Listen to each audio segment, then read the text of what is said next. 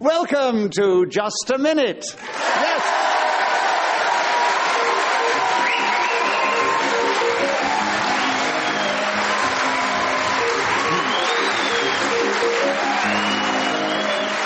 Hello.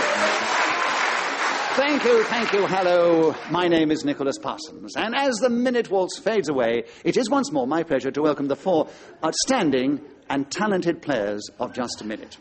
We welcome back Paul Merton, who has only played the game a limited amount. With such outstanding effect, we are delighted he returns. And three players who've been with the show since it almost began. They are Derek Nimmo, Peter Jones, and Clement Freud. But I would like you to welcome all four of them.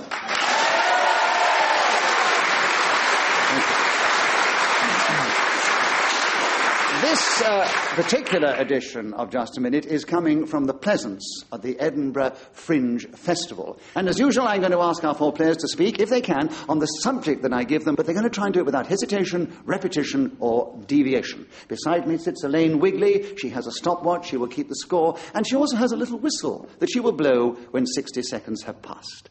Let us begin the show this week with Clement Freud. Clement, the subject, very apt for this show coming from Edinburgh, the Scotsman.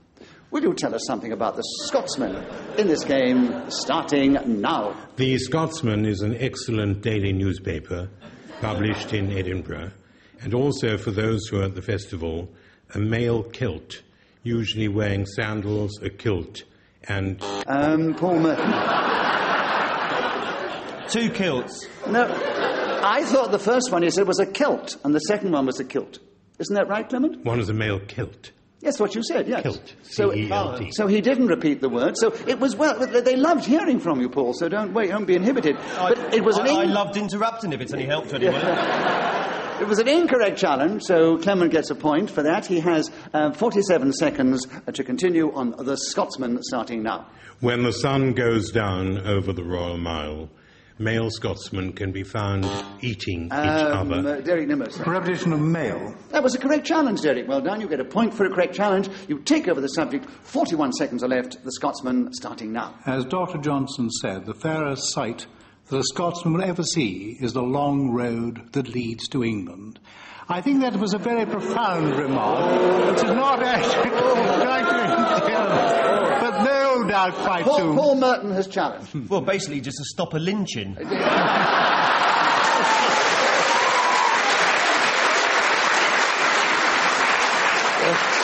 After all these years, Derek hasn't yet discovered how to win friends and influence people.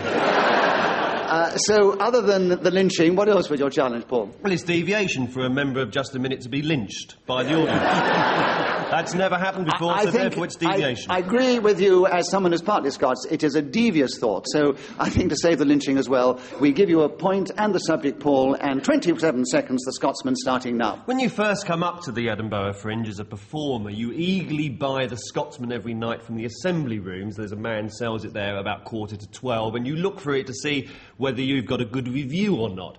If you get a bad one, you always blame it on the fact that, oh, it's just the gardening expert has written some review. And if you get a good one, Clement Freud challenge. Repetition of review.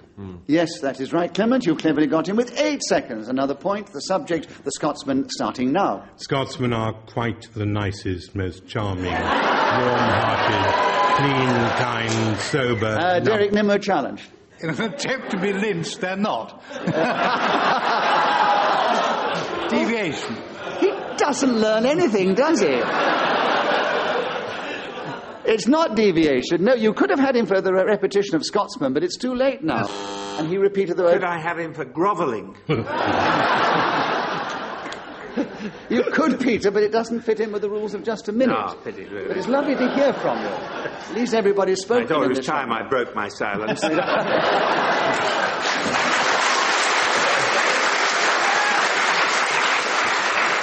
And Clement, you have another point, and you have three seconds on the Scotsman starting now. I am a creep.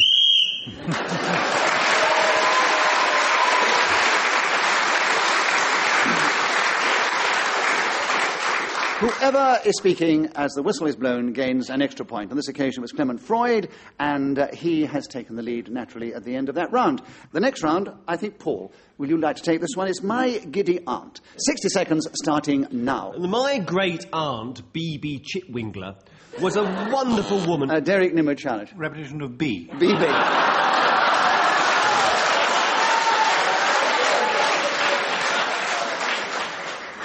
Well done, Derek. A correct challenge. Be well done.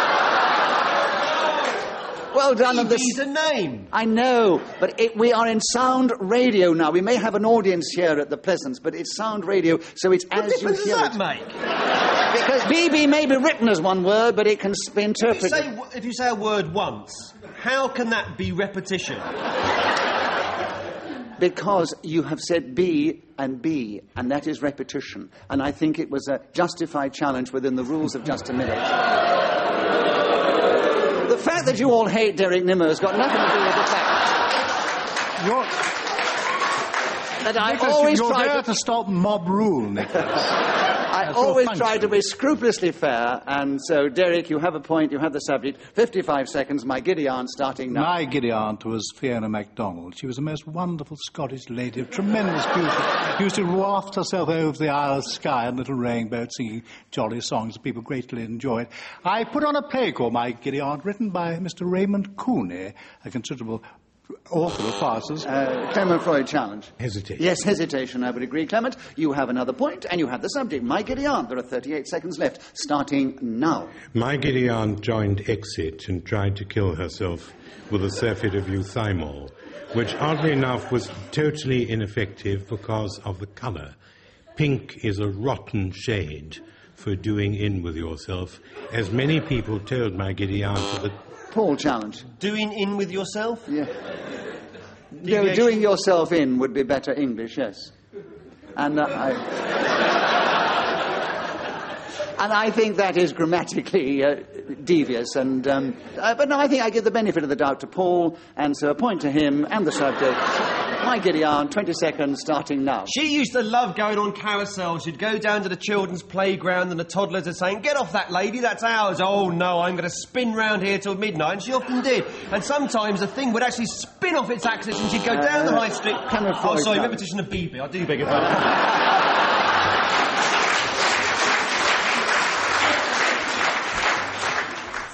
Uh, uh, Clement, you challenge first. repetition. Of what? Spin. That's right. Eight seconds, Clement. My giddy aunt, starting now. Gertrude Jemima was tremendously keen on roundabouts, known as hurdy-gurdies. She would go Oh no, Peter Jones a challenge. They're not known as hurdy-gurdies. Hurdy-gurdies are quite, they're not roundabouts. You're quite right, Peter. Well challenged, yes. They're, they're those things that you wind up. Those are the hurdy-gurdies. Sorry, I've realised this is radio and I was demonstrating to the audience then. I do apologise. I'm not quite sure what you're doing, to be honest. Well, Paul, you're a different generation. You probably didn't see hurdy-gurdies. You've got a hobby, your you know, you carry on. Peter and I are of the world of the hurdy-gurdy. You know, it's all gone plastic. Anyway, Peter, a correct challenge, and you've got him with one second to go. My giddy aunt, starting now. My giddy aunt fell over. Peter Jones, speaking as oh, the whistle wind, gain that extra point. The situation at the end of that round is Clement Freud is in a strong lead, but Paul Merton, Derek Nimmo, and Peter Jones are all equal in second place. Derek Nimmo, will you begin the next round? The subject, hay fever. 60 seconds as usual, starting now. It was in a production of Hay Fever, given by the Goodless Wall Amateur Dramatic Society, that I met my bride, Patricia Sybil Ann Brown, some 42 years ago. She was playing Sorrel, and I was playing or depicting Clement Freud challenge. too much playing. Yes, there was too much playing going on, I'm afraid. There. 46 seconds are available for hay fever with you, Clement, starting now.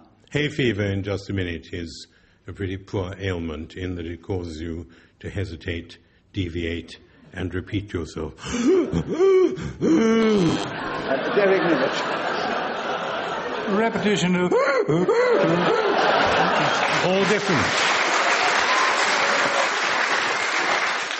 Derek, correct challenge. 35 seconds available. Hay fever, back with you, starting now. Oh, I do hate going out in the summertime, getting all that pollen in my nose, and I feel absolutely frightful and ghastly, and I come and go into the cold shower and lie on the floor in that arrangement for quite a long time, until suddenly the nostrils Peter clear Jones has challenged you. He, said he lied on the what? on the floor of the shower. I have a very big shower.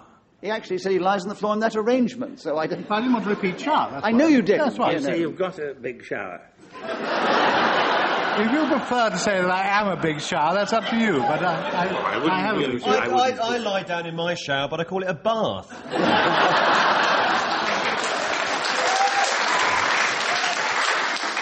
Peter, I think that it's a bit devious lying down in a shower, so I'm going to give you the benefit of the doubt and say that you have 20 seconds to talk about hay fever starting now. It was one of these plays by Noel Coward where young people come in with tennis rackets and say, anybody ready for a game?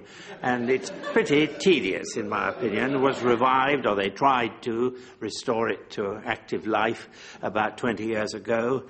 And the lady who played the leading part, an elderly actress,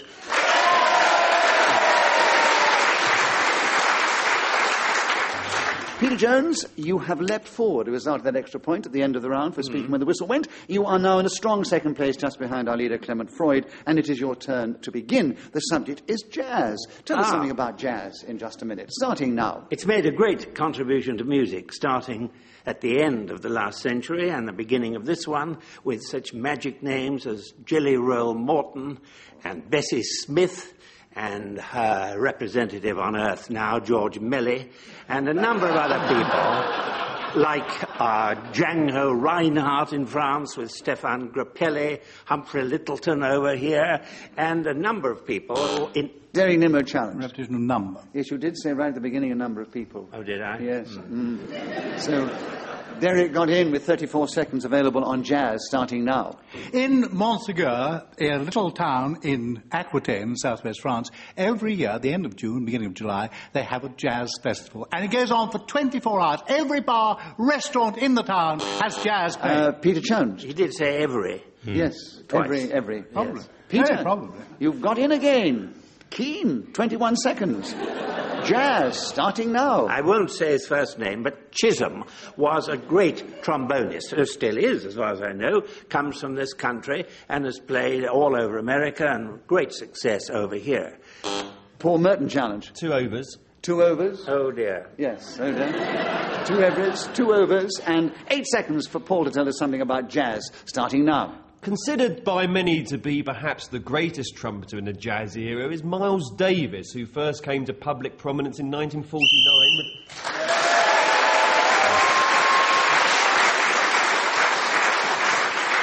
Paul Merton was then speaking as the whistle went, gained an extra point for doing so. He's in third place with Derek Nimmo, just behind Peter Jones. Clement Freud is still our leader. Clement, the subject now is grace.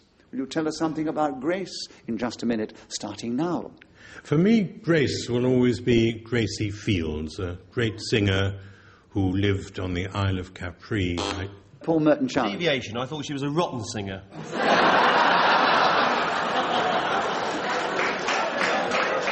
Sally, Sally, it's rubbish. This is an impossible thing on which to make a decision, isn't it, really, in a way? But no, the, yes. Well, it's a matter of opinion, isn't it? That's a what I was lot of people don't Peter. think Miles Davis was the greatest musician in the world. If you go by popularity, then uh, her popularity was such that we should consider to be a great singer. She was actually opera trained. She did have a very fine voice, but she ruined it by singing these popular songs. So I'm going to give the. That is a fact if you want to research it as well. But um, Not now, perhaps. no, but- wait till the show's over, please. Ever. Uh, I so- once paid to go and see her having tea on the Isle of Capri. She used to charge admission to watch her having cups of tea. Very nice. of her. Used to do the same with the monkeys in London Zoo, I think. that was about her level. It is obvious that Paul is not a fan of Gracie Fields. He's established that. Clement, you have the benefit of my doubt, and there are another point to you. 52 seconds. Grace, with you still, Clement, starting now. Grace came from Rochdale, which, if you live in London, is near Scotland. She was exceedingly well known, and if you go to the town hall in that Yorkshire city, which many people think is in Lancashire, you will see pictures of her and her music swells around the altar on a Sunday, and everyone says that is our grace. Oh, right. Paul, challenge. Sorry, um, isn't, isn't Rochdale in Lancashire? Rochdale is in Lancashire, yes. Because Clement said it was in Yorkshire. No. Yeah, you said Rochdale Rochdale's in Yorkshire, but many people think it's in Lancashire. Yeah.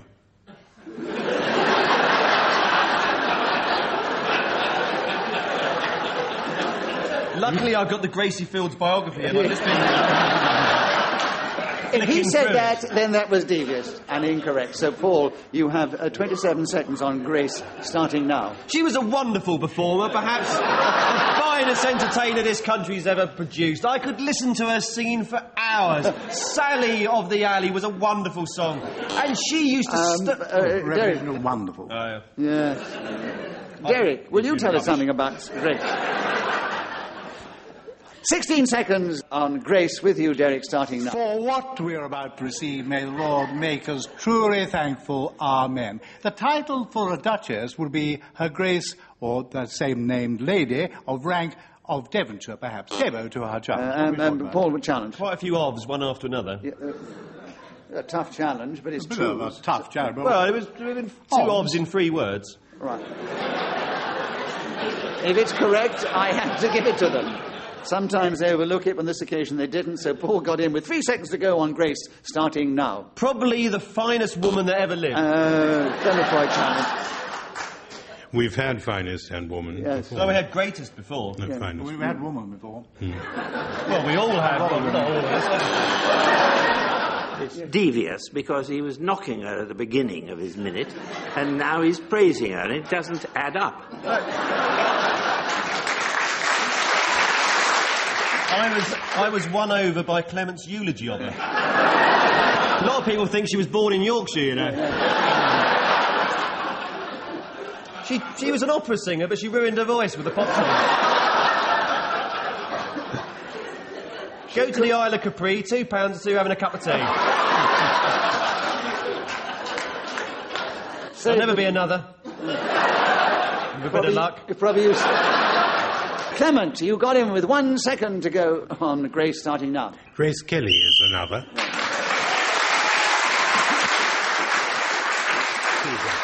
So Clement Freud was speaking as the whistle went, and uh, extra point and others in the round. He's increased his lead. Paul Merton, will you take the next round? The subject: fossils. Will you tell us something about those? I know what you're thinking. That young Spark's going to have a go now. That chairman's a bit of a fossil, isn't he? Yes, right.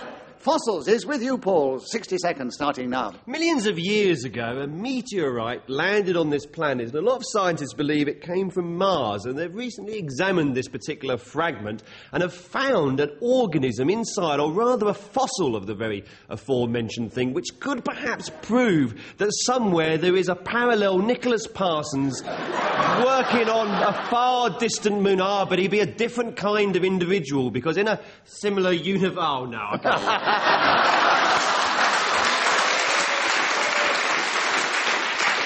Couldn't think of another word for parallel. Peter, you challenge first. Um, what was it? He stopped. Yes, he did. He did stop. You're quite right. Hesitation. 34 seconds. Fossils, Peter, starting now. The best place to collect fossils is the coast of Dorset. And my advice to you is to hire a caravan or caravet and take your children, as I took mine, with several cases of scotch. And we, while they combed the beaches looking for these bits of old thing, which wasn't very interesting to me, uh, I stayed inside. It was pouring with rain, and I thought it served them right for being interested in such bizarre things. But they did survive, and they brought a number of them back, which we have. So Peter's tragic story kept going until the whistle went again. That extra point. He's increased his position in second place. He's closer to our leader, Clement Freud. The other two follow just behind. And Derek Nimmo, your turn to begin. The subject: wisdom. Will you tell us something about wisdom in just a minute, starting now? We are extraordinarily lucky to have on this programme, as our chairman, a man who is truly, deeply wise. Wisdom can be an underrated quality these days, but Nicholas Parsons has the wisdom of Solomon. Give him a baby and ask him to cut it up. What? Paul Merton challenge. There's only so much of this you can listen to. I don't know why you're clapping. so your challenge, Paul. I'd say I'm challenging its deviation to say that you've got the wisdom of Solomon. Well, Same I- birthday, perhaps, but not the.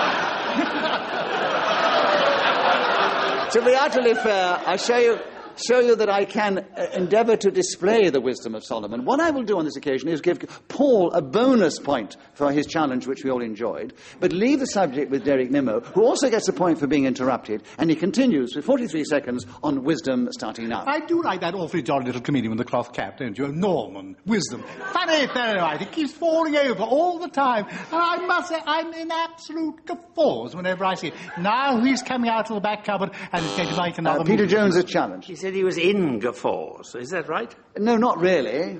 You Well, either guffaw, wrong. but you're not in guffaws. it's again one of those difficult decisions. Often we let it pass, but if you challenge, and it is. Uh, um, a You let it pass if you no, like. No, you no, know. no, no. It's a mind. subtle. If, if, if a you want to go home, I'm quite happy. I don't mind. Or have lunch, whatever it is you have in a mind. s- subtle deviation from English as we speak it and understand it. So, Peter, you have the benefit of the doubt. You have another point. You have the subject. You have 30 seconds. You have wisdom starting now. Well, I was in a film with Norman Wisdom, and one day when the camera broke down, we were all told to wait in our dressing rooms until it was repaired, which was going to be a very long time. So I suggested to Norman that he tell me his. Clement Freud challenge. Repetition of Norman. Yes, Norman's not on the card. Only wisdom, I'm afraid. What a pity. I know. It's a good story. Yes.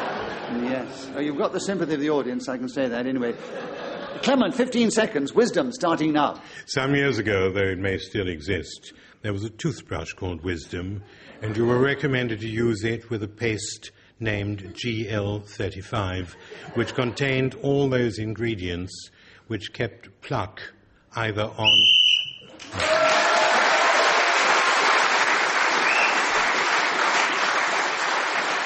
Well, Clement Freud's points, including the extra one of speaking the whistle went, has increased his lead at the end of that round. Peter Jones, your turn to begin. Fat cats. That is the subject. Tell us something about them in just a minute. Starting now. Well, they really get up my nose, I must say. All those men. Derek Nimmo challenge. Deviation. How can a fat cat get up his nose? If you use getting up one's nose as, a, as an expression of being irritated or disturbed by somebody, then it is a perfectly possible and it is therefore not deviation. 57 seconds. Peter, you still have the subject, another point, fat cats, starting now. I'm thinking of these directors who vote each other golden handshakes and share bonuses and all kinds of uh, odd things that nobody in the normal course of business would expect in their course of duty. But, Derek Nimmo challenge. Two calls. Two courses, course of business, course of duty. oh yes. Oh, yes. Derek, you in with the correct challenge on this occasion, and 42 seconds are available for you to tell us something about fat cats. I would really like to be a fat cat and people to give me massive. Peter Jones's challenge. You are a fat cat.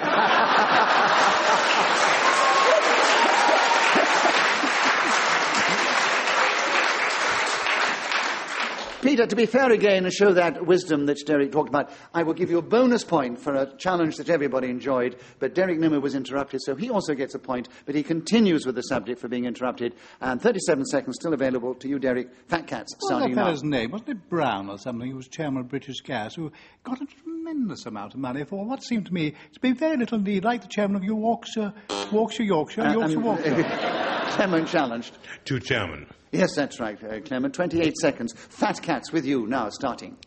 If you get a cat, or perhaps another one, and feed it all the food that you can find sausages and mushrooms, bits of egg, dried toast, grape nuts and cream, hot and cold milk, distilled water, and especially a test tube whereby you can shoot nutritive ingredients Um, up Peter its Jones's colon. challenge. Well, a bit of a hesitation there. I think there was. I think he was trying to keep going on um, ingredients, and he just slipped up a little and or hesitated. And two seconds are available for you, Peter. Got in just before the end on Fat Cat, starting now. And their wives drive around in company cars. so we are moving into the last round. So, Paul, it's your turn to begin. A very apt subject to finish on the Stuarts. Will you tell us something about that very Scottish subject in this Scottish edition of Just a Minute, starting now? I believe Charles I was a Stuart. He was the son of James VI of Scotland. And of course, he came into an enormous amount of difficulty round about 1641 when he wanted to wage war against the uh, country north of the border, and Parliament wouldn't grant him the money to do so. So it turned out that there was an English civil confrontation between the parliamentarians. Uh, um, Derek Nimmo Funny Challenge. little word, a confrontation. Confrontation. But, I was uh, trying to avoid saying war again. but you got the word out, even though it did come out through your nose instead of your mouth. Um, It's a good trick if you can do it. and it doesn't stop there. right. so, if any bit of the doubt to you, Paul, you keep going. 37 seconds on the Stuarts, starting now. So Oliver Cromwell basically cut his head off in 1649, and that brought to an end the reign of the Stuarts. And Derek Nimmo Challenge. Not permanently. no, no, but for a while. Well, it would be, wouldn't it? Yeah. Hmm. So, what is, so, what is your challenge? Well, it's deviated. They brought the end of the reign of the Stuarts. Yes, but as he the said- Stuarts went into exile. They went into exile. They'd never given up the throne. Oh gosh, they didn't give it up for good. no, No, no, William they did came. temporarily go into exile. Um, oh, I don't know. Paul, you have 30 seconds to continue on the Stuarts, starting now. It's a bit of a shame because I don't know much more about them, really. but I know that the uh, Duke of Buckingham was a very good friend of the uh, previous. Derek Nimmo challenge. Hesitation. Yes, Ah. there was an definite error there. So, Derek, you've got 21 seconds to tell us something about the Stuarts, starting now. I had a particular admirer of James I, who was known by the Scottish king as the wisest fool in Europe. I think very Paul challenge. Deviation, the wisest fool in Christendom. Wisest fool in Christendom, not in Europe. Well done. Uh, 13 seconds for you, Paul, on the Stuarts, starting now. There was a man who lived next door to him who's known as the most idiotic mantle. Oh, Clement Freud challenged. Uh, yes. Yes. Hesitation. Clement, eight seconds. The Stuarts, starting now. The Stuarts get up my nose, all of them, from James I, who was the sixth of Scotland, to his son.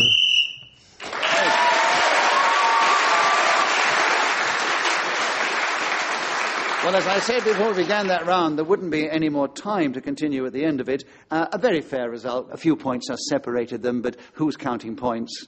Probably the players. Well, I do get letters about the points, actually. Um, Derek Nimmo. somebody writes to you, isn't it? Paul Merton and Derek Nimmo, they finished equal in third place. They were only one point behind Peter Jones, who gave his usual good value, didn't quite overtake our leader. Clement Freud, you had most points, so you were the winner this week. Congratulations.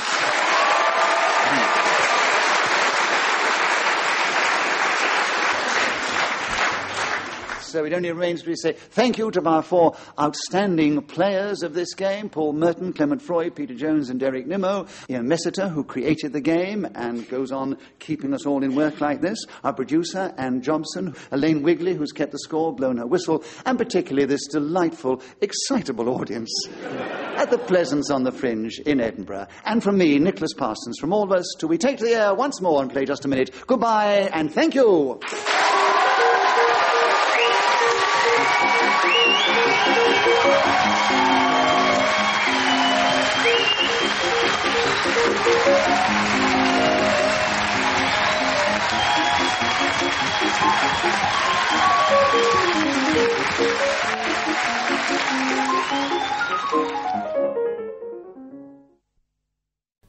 Welcome to Just a Minute.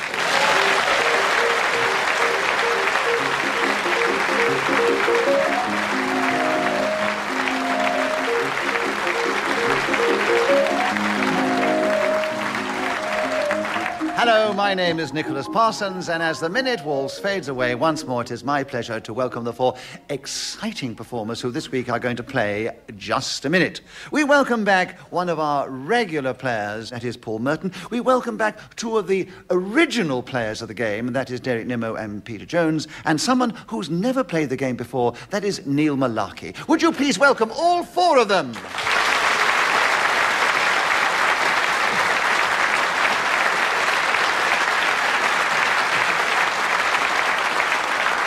Beside me sits Yolanta Zabuki, who's going to keep the score and blow a whistle when 60 seconds are up. And this particular edition of Just a Minute comes from the delightful Swan Theatre in the ancient city of Worcester. And we have before us a very animated and exciting Worcester audience who have come from their homes in order to cheer us on our way. And I ask our four players to speak, if they can, on the subject that I give them, and they will try and do that without hesitation, repetition, or deviation. And let us begin the show this week with Paul Merton. Paul, a very apt subject on which to begin Swan. Would you tell us uh, something about Swan in this game starting now? It is little known fact that the Queen is perf. Oh. I said it was little known. I found out I didn't know it yes, myself. I think that's. But it is difficult when you've suddenly been waiting to go and suddenly something happens and it's. You went, went for three seconds, Paul. But I'll do it again tomorrow. Uh, no, Derek, you challenged. Well, hesitation. He's Of course it was, yes. and there are 57 seconds left. Swan starting now. In Western Australia, they have black swans, and south of the river, which has the same name, they produce some of the finest Chardonnays in vineyards like Hortons and Sandalfords. But everywhere you can see these Swan Noir, which I have to say like that because I don't want to repeat myself. But the Queen actually is head of the swans in England for some reason. Neil Mullarkey challenge. Did you say Queen? Yes. Didn't Paul say Queen as well? No, but he did repeat swans.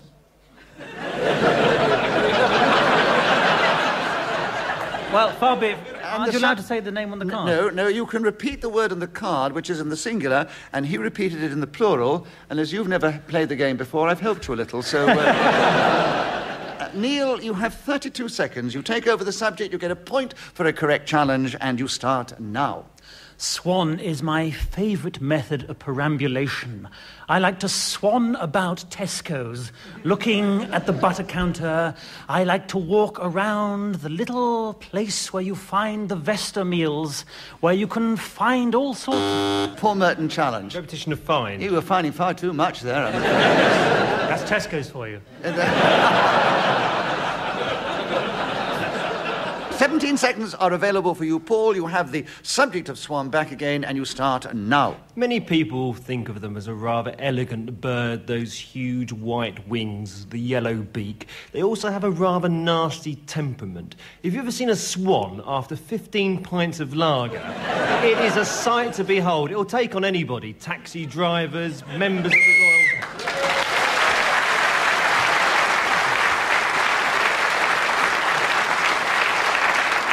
Whoever is speaking when the whistle goes gains an extra point. On this occasion, it was Paul Merton, and he is in the lead at the end of the round, which is not surprising. And Peter, it's your turn to begin. Another excellent subject for Worcester, though nobody took up Swan into the Swan Theatre here, which does such a, wonderful work presenting repertory, theatre. Are you, keeping are you plugging your one-man show? I've done my one man show here actually at the Swan Theatre, and it was uh, well received, but they keep. I'm not looking for a return engagement, but I will am free if they want to ask me. They, uh, but They it is didn't, that. uh, they didn't mention the famous book by Marcel Proust either, did they? Swann's Way. I thought I'd mention that because it gives the whole thing a different uh, tone. it? It shows the intellectual quality that you possess, Peter. Yeah, exactly. Yes, good. I only know the name of it. I've never read it. Peter, you I take another Worcester subject, Cavaliers.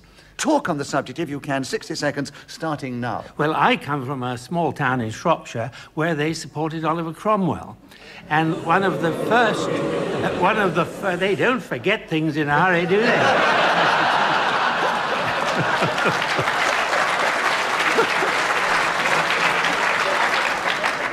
one of the first verses I ever heard was, The women of Wem and a few volunteers beat Lord Capel and all his cavaliers. And there was a river that was allegedly running with blood for a while, quite near there, tributary of the Severn, which flows, as you know, through Shrewsbury and then comes here. So you may have had a rather pink uh, river by that time. Derek Nimmo challenge. Repetition of river. Yes, you, you did repeat the river, I'm afraid, Yes, Peter. Yes. yes. Uh, so, Derek, you have the subject of Cavaliers. 21 seconds are available, starting now. I suppose, for me, the most dashing of all the cavaliers was the gallant Prince Rupert, who rode at the head of the cavalry and charged the Ironsides with such fervour and set them mostly to flight, although sadly, in the end, the king had to flee and hid himself in an oak tree where Paul Merton challenge. Are you mixing up Charles I with Charles II? Because Charles, it was Charles II that hid in an oak tree. Mm. you still He hid in about 14,000 oak trees.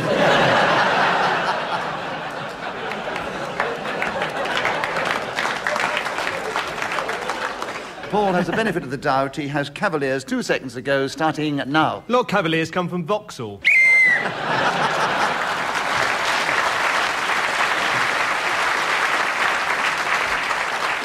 So Paul Merton was again speaking as the whistle went, having cleverly got in with only two seconds to go, and has increased his lead at the end of the round. And Derek Nimmo, your turn to begin. The subject is fiestas. Will you tell us something about? is it some way I pronounced it or something? It's a little joke, you see. We talked about Cavaliers and Fiesta. That's what I laughed They're both names of motor cars. I thought Cavaliers was a group of stripping men who uh, cavorted about with oiled bodies. That's the Chippendales. That's also Nicholas Parsons' one-man show as well. isn't it? Ah, yeah, yes. No wonder he hasn't been asked to come back again. I actually followed a gay beauty competition in a show I was doing the other day, which was quite an experience. How You- far you did you have to follow them?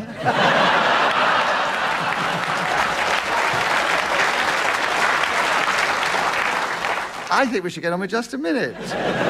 Uh, fiestas, uh, Derek, 60 seconds, starting now. Feast days are fiestas, and we don't really have very many of them in this country. Sadly, the Spanish go in for them quite a lot, and jolly good fun they are.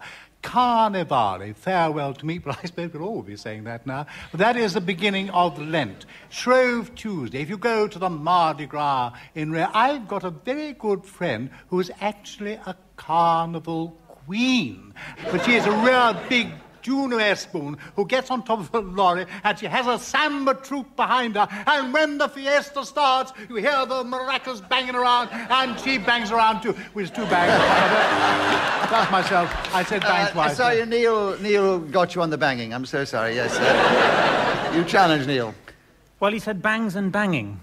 They're not the same They're word. not the same word, are they? So, I... It's a wrong challenge. You get a point for that, Derek. You keep the subject. And you've got 22 seconds left. Fiestas starting now. Nicholas Parsons liked going to gay fiestas. He's so jolly and forthright that they all welcome him with open arms and say, Come on, Nick, get your knees up. Or words to that effect. And he'll put on a pretty little dress and skip around, handing out pamphlets, newspapers, magazines, anything they ask for. Uh, Because Neil Mullarkey's challenge again. Uh, you had said magazines before. There were magazines before, yes. I'm so anything to get away from this subject. anyway, uh, Neil, you've cleverly got him with only two seconds to go. A point for that, of course, and the subject Fiestas starting now. I used to drive a Ford Fiesta.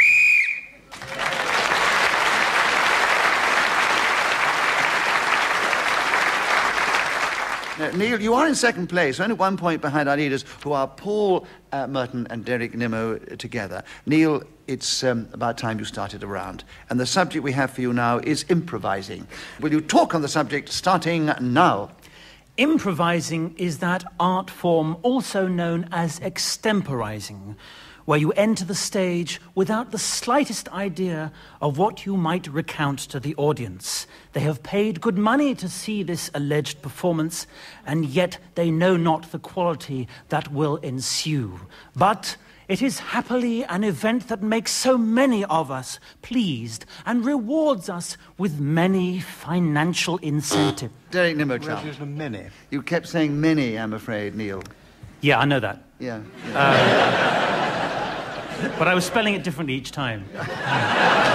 32 seconds are available for you. Improvising, uh, Derek, starting now. I think a jolly good idea for a game would to get people to improvise and speak for a minute on a subject without repetition, hesitation, or deviation. Uh, Paul Merton challenge. It'll never catch on.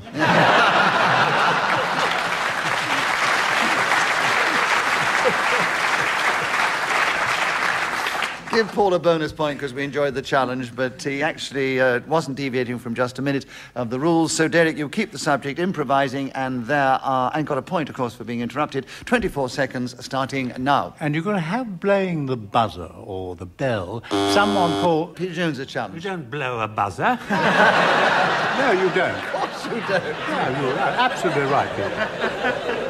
Definite deviation. Peter, tell us something about improvising. 20 seconds starting now. Well, we British have a reputation for being marvellous at improvisation. Wonderful example of that was the man who did an operation on an aeroplane and with a coat hanger and a rubber band or something, and he was able to avoid this woman dying of appendectomy.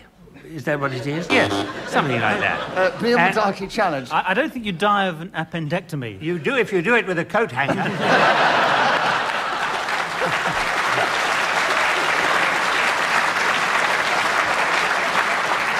And so, Peter, you have another point, and you still have the subject, and only one second left. Improvising starting now. Make it up. That's what you do.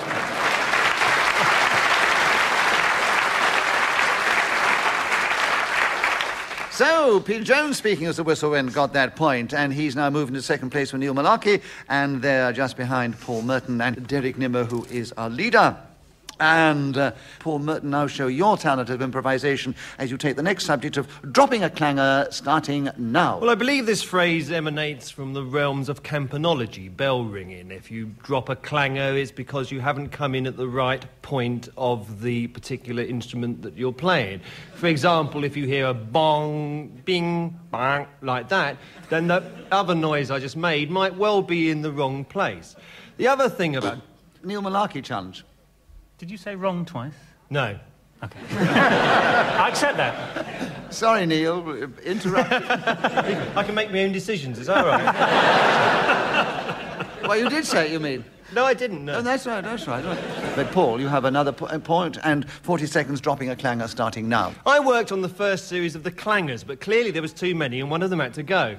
So I had them all in my office, and the soup dragon was there as well. And I said, Look, there's seven clangers, but we only have room for six. And I didn't know how to pick out which one was to be the one who had to go down to the. Peter Jones, a challenge. Repetition of one. Yes. Yes. That's right. So, Peter, you're in there. And I did say wrong twice earlier.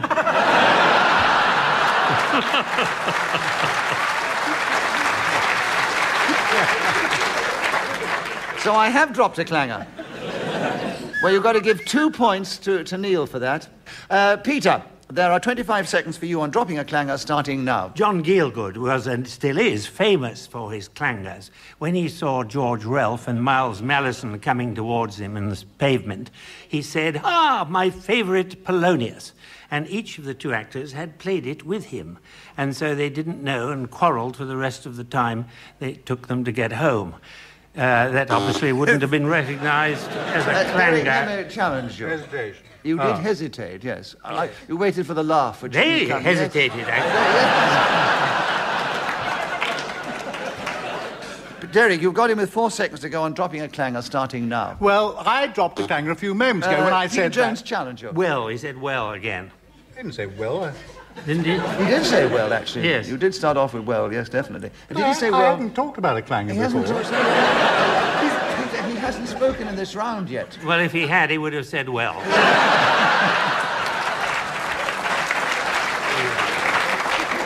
Give Peter a bonus point. Derek, you have a one for being interrupted. You keep the subject three seconds, dropping a clanger. St. Peter Start- and St. Paul. I have to get in quickly Uh, Paul he Merton challenged. Repetition of Saint. Peter.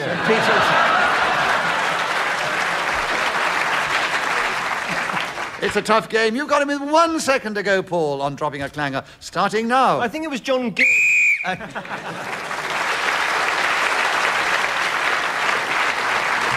Right, so Paul Merton got that extra point. What's the score? Very close, actually. Paul Merton is now in the lead, just one point ahead of Derek Nimmo. And then equal in third place, uh, Peter Jones and Neil Mullarkey, not far behind. Peter Jones, this subject is worrying me before we start because it's old Nick. I don't know what they're going to say. But, uh, Peter, you begin anyway, uh, starting now. Well, Old Nick is actually older than you would think. Of course, I knew him first when I was a boy. He was already growing up and going out with girls. Lilian Braithwaite, Edith Evans. uh, a number of uh, women come to mind. But uh, I was taken with by my uh, parents. Derek Nimmo A lot of hesitation. Sort of Well, not a lot, yes. there was a little hesitation. Yeah. Derek, you've got in on Old Nick, and the 40 seconds are available starting now. I certainly wouldn't like to get in with old Nick. He is the chairman of this game. He's much older than you think he is. He is, in fact, over 70, but God, isn't he wonderfully preserved? His dear present wife, Anne, who's in the audience this evening, she knows that he has the figure that many younger men by 50 years would die for. And when you've seen him on the Swan Theatre, covered in Vaseline, doing his one-man show, you will realise how splendid old Nick is. It can, of course, be used as a word for the devil, Nicodemus. Sometimes one might almost think that, ah, old Nick is a bit of one of those too. But he isn't really. He's a charm.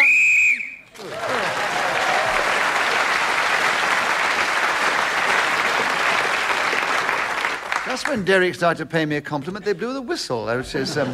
But Derek, you were speaking as that whistle went, gained that extra point, and you've now gone into the lead just ahead of Paul Merton. You've changed positions, and Derek, it's your turn to begin. The subject is clubs. Can you tell us something about that uh, subject in just a minute, starting now?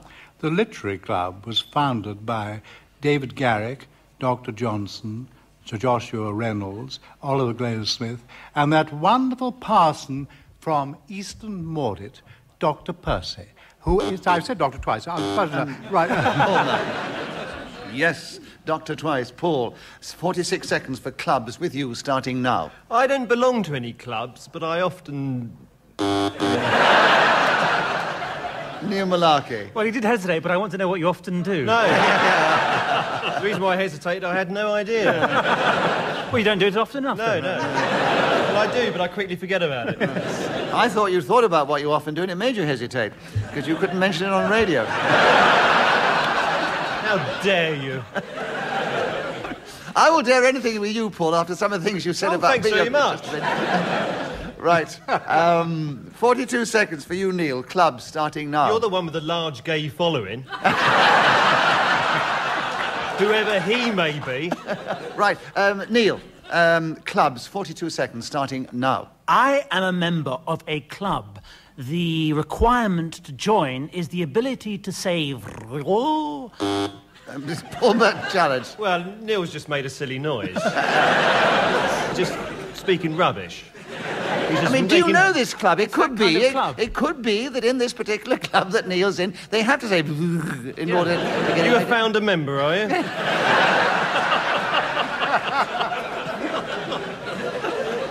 I don't know. This is the You don't know anything, do you? You don't know if you're in this club, you don't know where you are, you've got a large gay following. But he I knows do, what he do know does. one thing. I give you very good clues in order to come back. Uh, cues, I'm sorry, clues. So you're giving this to Neil for the It- Silly it is- Noise Club? I'm giving it against you for your challenge. I don't know. They might have to in his club make that silly noise. I don't know. The benefit of the doubt goes to Neil. Benefit of the doubt?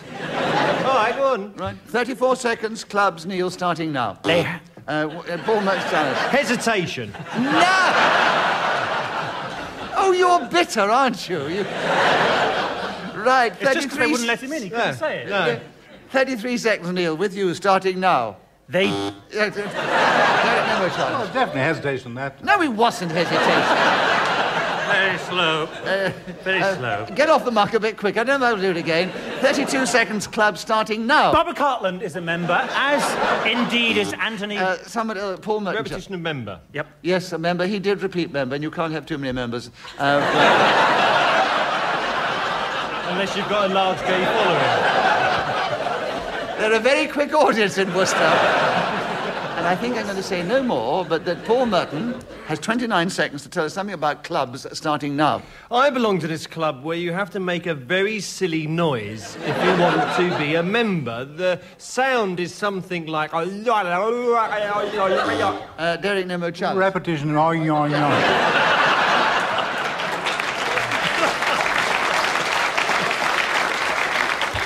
Hyphenated. I know, it came out without the hyphen. Right. Uh, uh, Derek, uh, correct challenge, 20 seconds. Club starting now. Clubland is that part of Pall Mall which starts with the Athenaeum, moves on to the Reformed Travellers, on to the Royal Automobile Club, Uh, known Paul as... Merton challenge. Repetition of onto. Onto, yes. It moved on to, and then it moved on to again. 12 seconds, clubs. Back with you, Paul, starting now. There is a Nicholas Parsons fan club that consists. Peter Jones challenge. I don't believe it.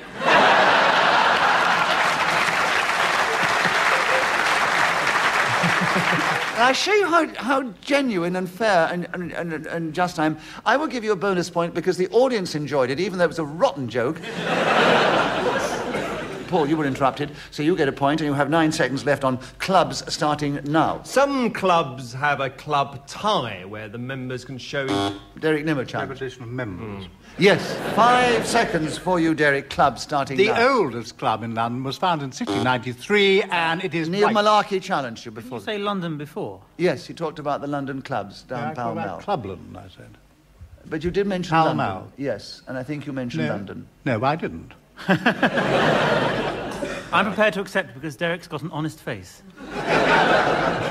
Derek, three seconds. Club starting now. I think perhaps the best club of all was the Playboy. Uh, Paul Merton challenge. Repetition of best. Yes, you did say the best, Pall Mall, and when you were talking about that. I didn't say the best. I said, well, it started, starting Clubland. I moved along. I said it was best. I well, think I you did said say one best. club is better than another. I think you did say they were the best. Paul, you have another point. You have one second. Club starting now. The Athenaeum.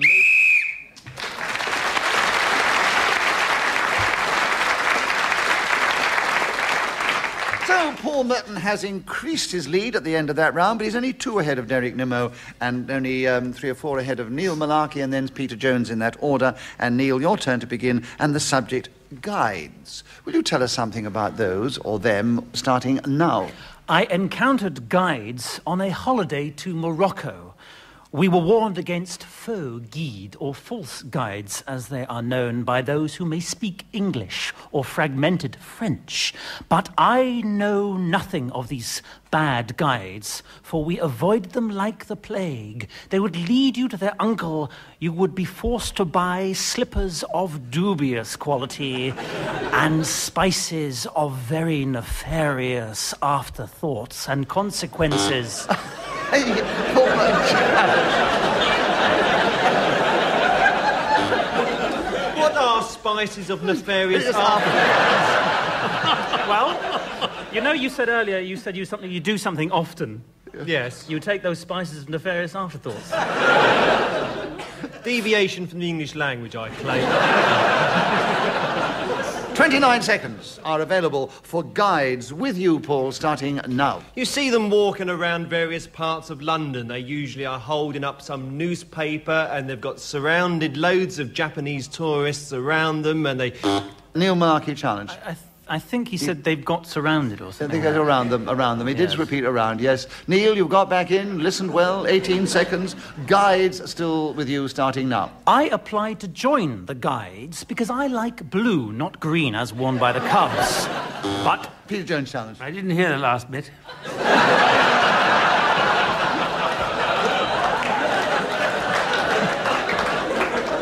You play your own version of Justin. you all right now, Peter? You, you're Yeah, back I was with all us, right are you? before. Yes. There's nothing wrong with it. You didn't all right. hear him, I know, but the thing is, it's not part of the normal way of playing just a minute. So what happens is, Neil was interrupted, he gets a point for that. He has 12 seconds to continue. Guides starting now. my application was turned down on the grounds of gender. I was not female, male being my sex. Oh, I cried at the board of. Uh, Derek Nimmo challenged. Deviation. Why? Well, I don't think it is his sex. Well, I'm not going to ask him to prove it in front of this audience. Ah. Neil, you have another point. You're doing extraordinarily well, first time. Three seconds available. Guides starting now. I took the case to the High Court. The Queen asked.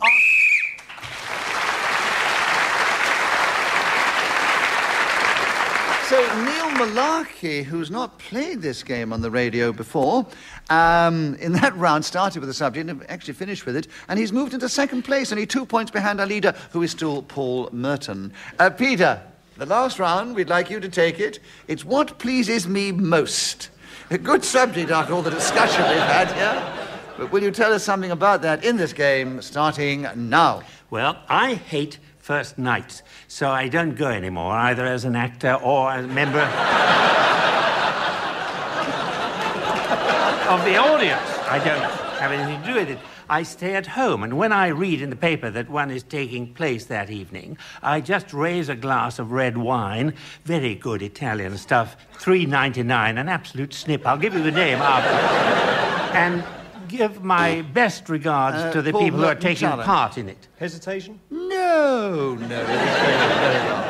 Peter, there are 37 seconds to continue on what pleases me most, starting now. Because I feel I'm so happy that I'm not participating in this dreadful bloodbath that is probably occurring on the stage and in the audience. New Mullarkey challenge. He, he said stage earlier. Yes, I yes, did. you yes, did. Yes. You're very honest, Peter, not like the rest of them. Oh, come, come. Uh, Neil, you've got him with 28 seconds on what pleases me most, starting now. What pleases me most is eating sushi. I love the taste of raw salmon enveloped by white rice and a piece of seaweed. Yummy, I say, as I pop it into my little buccal cavity, swallowing it with some Asahi beer or Kirin lager or Sapporo. Paul Merton I think I speak for a lot of people.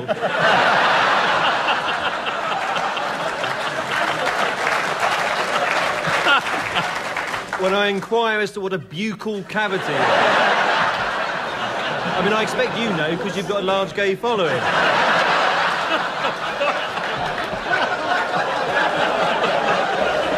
Paul, you have a correct challenge because it was deviation from English and uh, also anatomy as we understand it. And you have 10 seconds to tell us something about what, what pleases. Oh dear, I can't even say it now. What pleases me most, starting now. What pleases me most is to go home and polish up me buccal cavity. I get a, a load of silver. Neil Mullarkey challenge. Uh, I said buccal cavity. I know you did, but he, re- used the I phrase. can, I can repeat what you've You can- said. but you- but you I'll leave now. So he's polishing What up is his... a buccal cavity? I've no idea. And I've been polishing it for years. Four seconds, Paul. What pleases me most, starting now. I suppose what pleases me most amongst all the experiences that life's rich tapestry.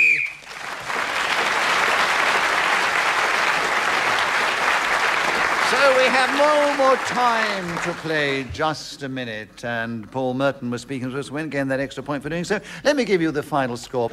Peter was only just in fourth, no, third place only, because in second place equal was our first time player of the game, Neil Mullarkey and Derek Nimmo. So let's give a, a round of applause to Neil right away, shall we? But only a few points ahead was Paul Merton. So we say, Paul, you're the winner this week. Congratulations.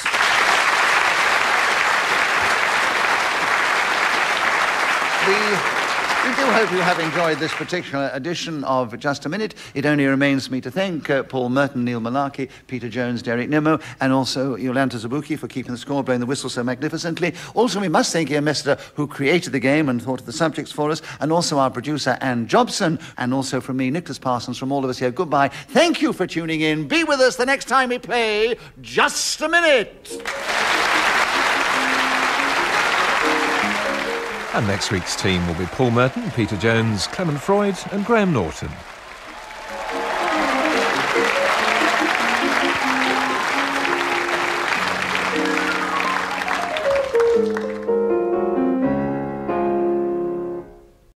Welcome to Just a Minute.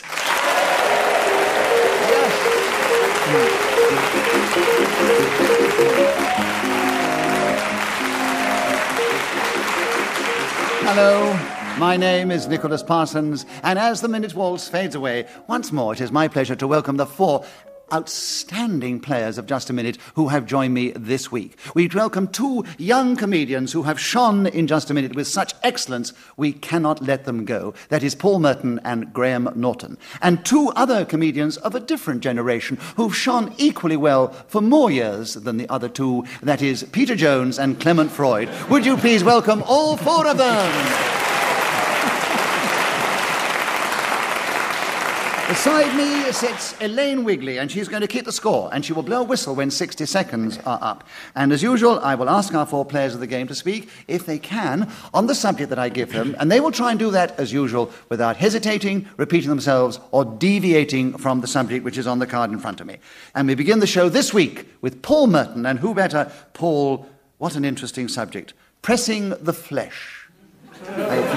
Would you talk about that in this game starting now? I love sausages, I really do, and there's nothing I enjoy more than getting up in the middle of the night and getting a couple of chipolatas out of the old fridge and giving them a squeeze like that, and it's wonderfully exotic for me and a fairly sensuous experience, I should say. I don't know how the sausage itself reflects on this. It might be, as far as it's concerned, rather inconvenient to be woken up in the middle of the night, but I. Clement Freud is challenged. Repetition. Of what?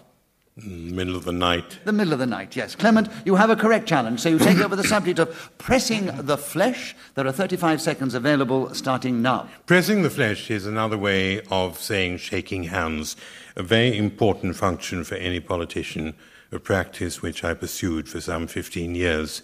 And it was very difficult because people tried to give you a sort of message as their hand grasped yours. And you said, ah, you. Paul Merton challenge. Repetition of hand. No, hands and hand. Yes. Oh? Yes, it was the same as you had sausage and sausages on the first Oh, challenge. yeah. Uh, So we have to listen very carefully, Paul. Yes, we do, yeah. And so it was an incorrect challenge, so Mm. Clement has another point for that. He keeps the subject. There are 16 seconds on pressing the flesh starting now. You are a Freemason, I would say. No, I have arthritis, was the reply. it became very difficult. But it is something, pressing the flesh is a wonderful way of getting to know people because. Paul Merton challenge. Repetition of people. Yes, you did have people before. Sorry, Clement. Can't Um, shake hands with non people. uh, Paul, you've got in with four seconds to go on pressing the flesh starting now. During Nicholas Parsons' porno film career, I was often called upon to press the flesh. And what was- The audience are in a slight state of shock after that because they don't know whether it's true or not. It's true. Paul. It is true, is that? Whoever is speaking when the whistle is blown gains an extra point. And on this occasion, it was Paul Merton who also got another point for a correct challenge in the round, so he's equal in the lead with Clement Freud at the end of the round. Peter Jones, will you take the next round? The subject, the millennium. Will you tell us something about that in just a minute, starting now? Well, there's a difference of opinion about when it actually takes place, whether it's in 1999 or 2000. And then, of course, I was talking to someone just before the show started about this, and the Albert Hall apparently has been booked about 65 times by a similar number of people for one of these nights, or in fact, both of them, I believe. So they've got double figures there.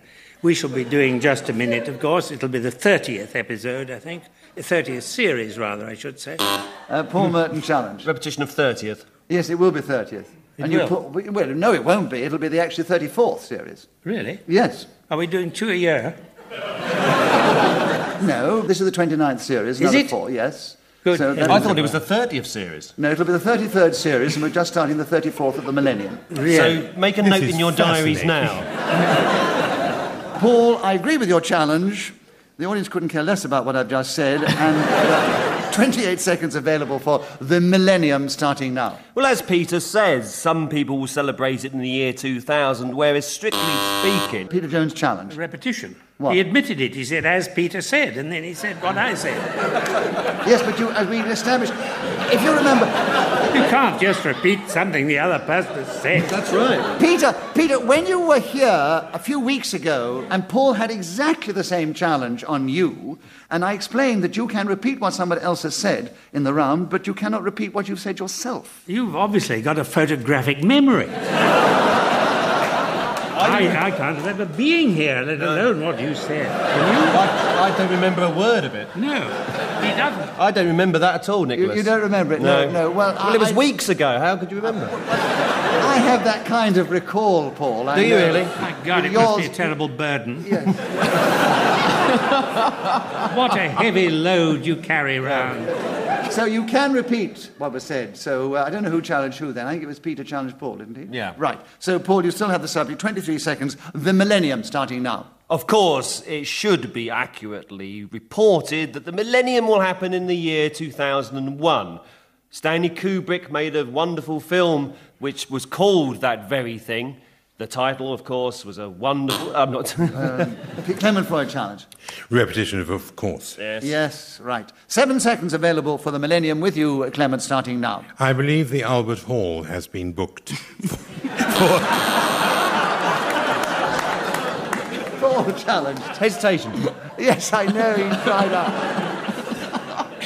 Three seconds with you, Paul. The millennium starting now. Now, you may not notice, but you can actually book the Albert Hall for the year 2000.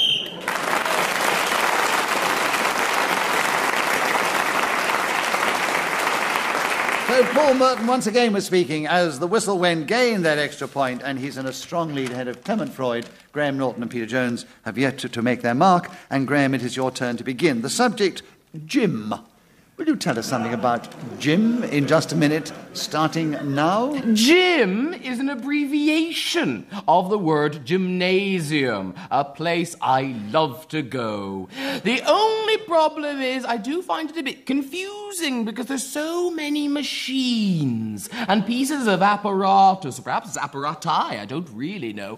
But the piece of equipment I like the best is long and you need to pull down on it. It's called the sunbed.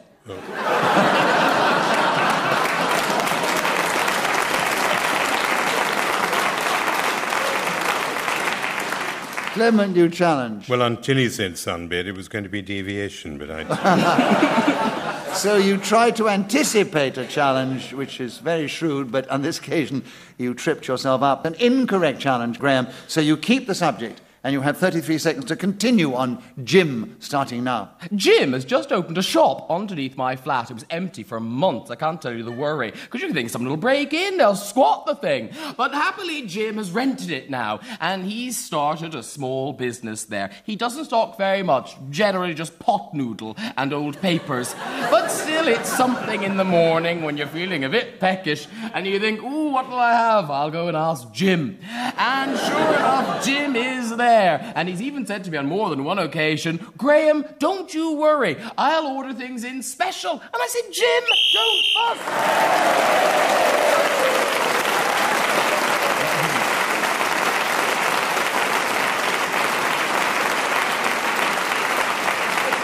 So Graham Norton started with the subject, and in spite of an interruption in the middle, kept going with the subject, gained that extra point for speaking as the whistle went, and whose turn is it to begin? Um, oh, it's Clement.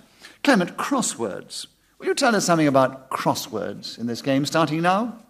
Damn, bum, drat, bother are the sort of crosswords that spring to mind. There are also competitions in many newspapers, usually on the back page, in which you're given clues both down and across.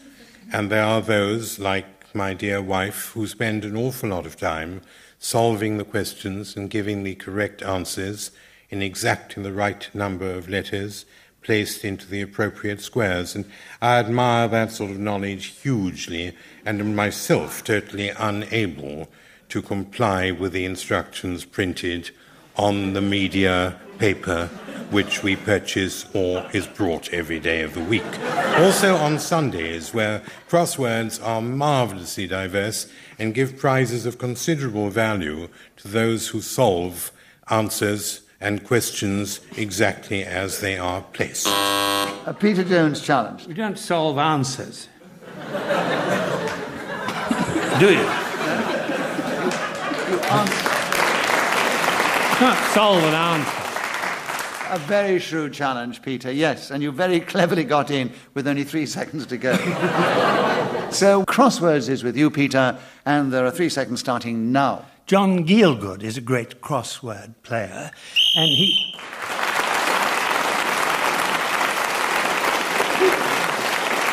Hmm. So Peter Jones and Graham Norton are in third place, Clement Freud in second place behind our leader Paul Merton. And Paul, once more, it is your turn to begin. And the subject is turning the other cheek. You have 60 seconds as usual, starting now. I think this is a rather bad piece of advice because if you turn the other cheek, good chance are you'll get the other one slapped just as hard as the first one was. I think it's a much better way to deal with life by saying, get your retaliation in first. This is the complete opposite of turning the other cheek, but those people are so meek and mild where you hit them and they say, I don't care, look, I shall turn my face. I present the other side of my visage for you to strike also. And they hit them again and they, what can you do with these people? It's obviously a completely Peter Jones challenge. Repetition of people. There were too many people Yes. there, yes, turning their cheeks. All right. 30 seconds are available for you to tell us something about turning the other cheek, Peter, starting now. It does smack of masochism, in my opinion. I think if you do that, then you deserve all you've got coming to you. And it wouldn't be my advice to a child who was slapped in the face, or a grown up for that matter. Uh, Clement Freud challenge. I think, uh, mm, yes, I was just trying to think of something else to say, just to uh, keep that dreary uh, monologue going. It's tough in just a minute. 14 seconds available. Turning the other cheek, Clement, starting now. turning the other cheek is the opposite instruction to do unto others and run like hell. When Cynthia Payne stood for Parliament at a by election, I suggested that she embraced as her motto Graham, you, you challenged. Well, I, I did for hesitation, but I'm dying to know what you told Cynthia. I know. Do you want to finish the round? Then we might discover If what you she give me an extra point, I'll tell you what I. Graham, one second. Turning the other cheek, starting now. Frank Cod Cheeks. Right. Clement, see if you can earn that extra point. I did suggest that she used as her motto if you can't join them, beat them.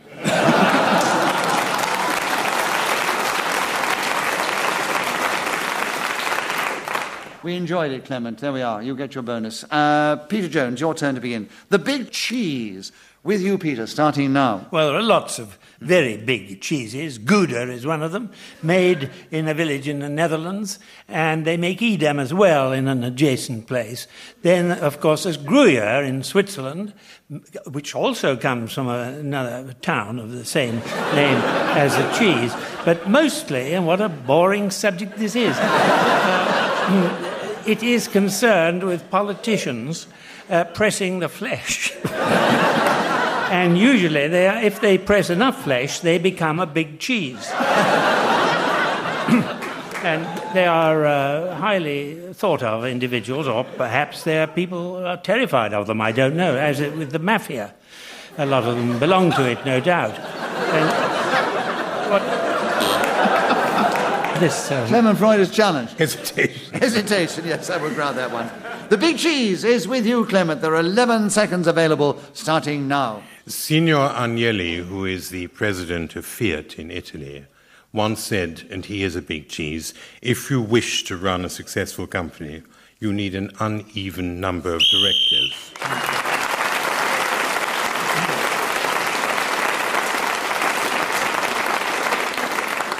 And three in- is too many. Mm.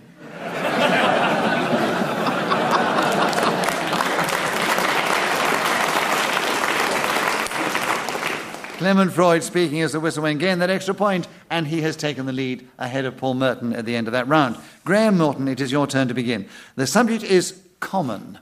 Will you tell us something about common in just a minute, starting and now? Often common is seen as a sort of derogatory term. And how depressing it is in the winter when you get a bit of a headache and your nose is running and you're coughing and you go to the doctor looking for sympathy and all he can say is, You've got a common cold. and you just think, Well, what? Did I catch it from chips? And will people come to my bedside with plastic roses wrapped in tabloid newspapers?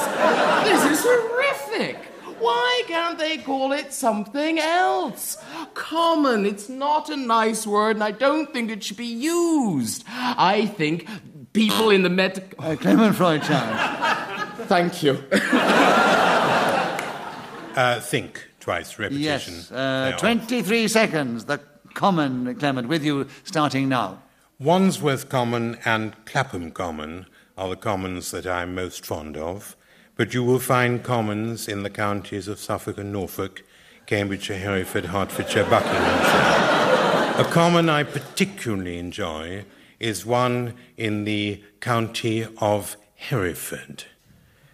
Beautiful. Yes. Lush, verdant. Hesitation. There was hesitation because he said Hereford before. That's why Hertford. he was waiting for the challenge and nobody came in. Hertford. But hesitation happened. Two seconds available. Common with you, Paul. Starting. now. Well, I agree with what everybody says about this subject, really.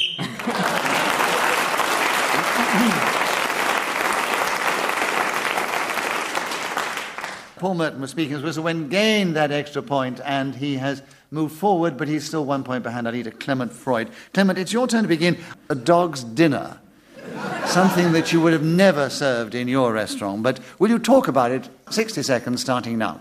It used to be very difficult for people who had dogs who wanted to go on holiday to ensure that the dog's dinner arrived while they were away in Benidorm or wherever. But a company has now invented something called a dog's dinner disposal unit machine into which you put a dozen or more sachets of whatever disgusting viands. Uh, Graham Norton challenge. I think this is a bit nonsense. Why would it be a dog dinner disposal machine? A dog is a dog dinner disposal machine.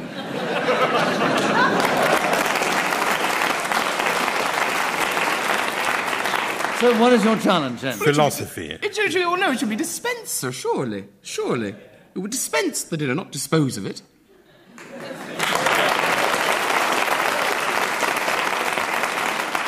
Graham, uh, and as whether it dispenses or disposes, it doesn't matter. He wasn't actually technically deviating from the subject. And which how is does the dog dinner. get it out of the sachet? No, It's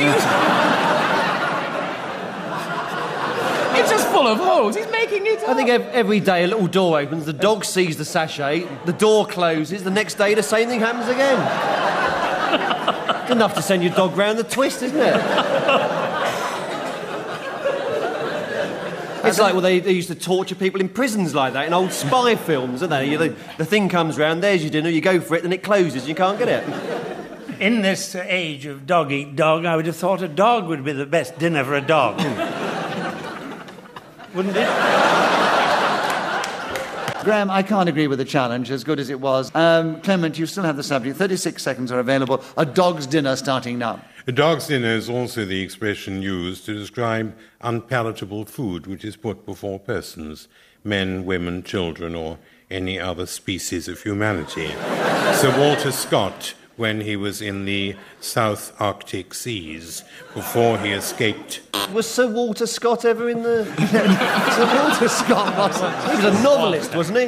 Sir Walter Scott in the South Seas and escaping. I mean, the whole thing is getting so bizarre. It sounded like a Paul Merton flight of fantasy. You are right. It was quite devious. Uh, 17 seconds for a dog's dinner with you, Paul, starting now. The perfect thing for a dog's dinner is a big cheese. And when I say that, I refer to the Bee Gees, who actually had a hit with Saturday Night Fever in 1977. What a great band they were. I would willingly feed them to any animal, whether it be canine or feline. I wouldn't care, particularly the one in the middle, Barry. I think any Alsatian would be more than happy.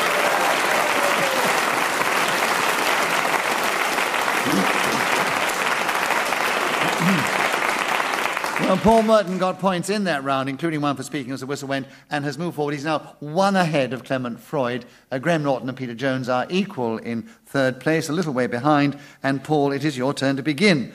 Fudge. 60 seconds, starting now. If you want your dog to stop barking, give it fudge. It won't be able to move its mouth because the trouble with fudge is it's so sticky. I don't actually like this stuff. I've had it a couple of times when you have to go to some professional fudge day where celebrities have cooked fudge and you have to test which is the best fudge. Is it Melvin Hayes or has Wendy Craig won it for the third year running? And you go along to these things. Derek Nimmo, in fact, came fourth one year with a remarkable fudge, which um, turned out to be some he nicked from Nicholas Parsons. And it was a great, terrible scene as the two of them had a massive fight in the beer tent. Bottles of Tizer had been smashed all over the place. Nicholas, I remember, was absolutely steaming. Uh, Clement Freud challenged you. two Nicholases. To Nicholas. I know, what a pity. Oh, they feel they can't have too much of Nicholas, but there we are. Oh. That Three people plain. clapped there. I know. Three out of 300. I know. It's And outrageous. two of them were being bullied by the other one. Clement, he did repeat Nicholas, and there are 21 seconds available for you to tell us something about fudge starting now. Quite apart from the sweetmeat fudge, hmm. fudge typographically is what used to be called stop press, a page which had a little square on it which could be replaced by further news without resetting the whole newspaper. And fudging was something editors were very keen on.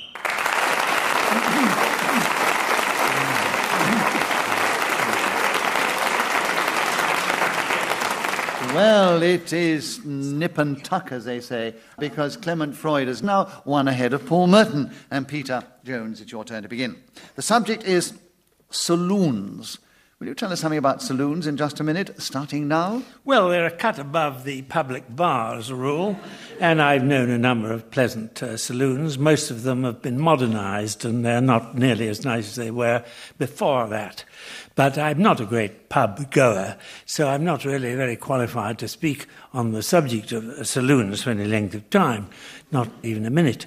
But uh, Clement Freud would tell you that he knows saloons in Hertfordshire, Herefordshire, Devonshire, Cornwall, Northumberland, and elsewhere.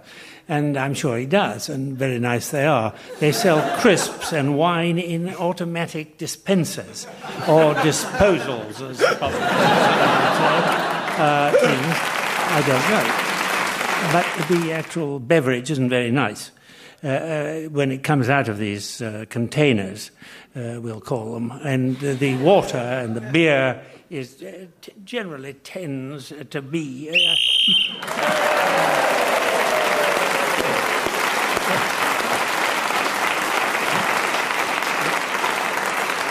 Well, that hasn't happened for quite a long time. Someone began with a subject and finished with a subject. Two points to Peter Jones.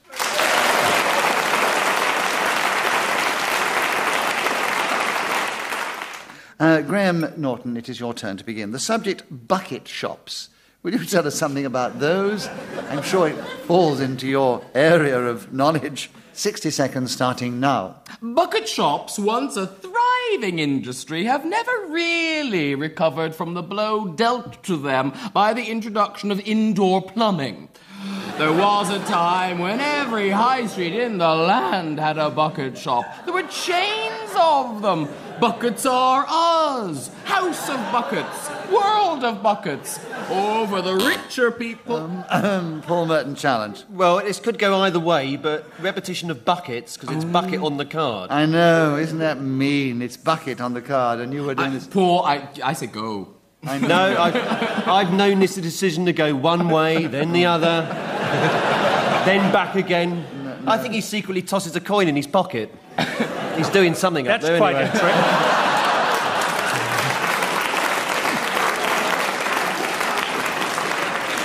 Oh. Looks like heads from where I'm sitting. How low can you take it? Well, I oh, don't know. You tell us, Nicholas. 10p piece, I've heard. Oh, well. I'm glad they laugh. It shows I'm a good sport. but you did repeat bucket, so I've got to be fair in just a minute. Uh, Paul, a correct challenge, 36 seconds. Will you tell us something about bucket shops starting now? Well, I don't know enough about them, really, so I think you should give the subject back to Graham. Clement Freud challenge. Hesitation. Yes, there was hesitation. Clement, 32 seconds on bucket shops starting now. Bucket shops is the name given to travel agents who are not bound by some altruistic charter, and therefore they can sell flights which don't necessarily exist. What is so miserable about bucket shops is that you sit on a plane and you have no idea whether the person sitting next to you.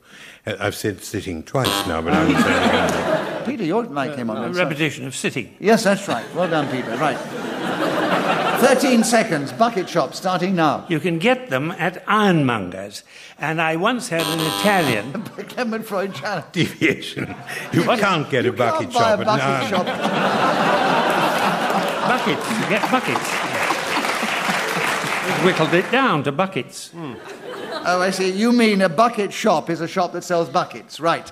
So that was an incorrect challenge, and you have a point for that. And there are nine seconds for you to continue on bucket shops starting now. I once heard an Italian describe it as an iron aeromangiare shop.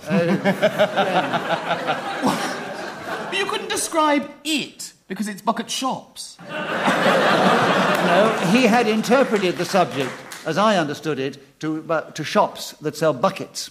So um, there are five seconds for you to continue on bucket shops, Peter, starting now. Well, I don't know any shop that sells buckets is a bucket shop as far as I'm concerned. Then he should stop talking about it.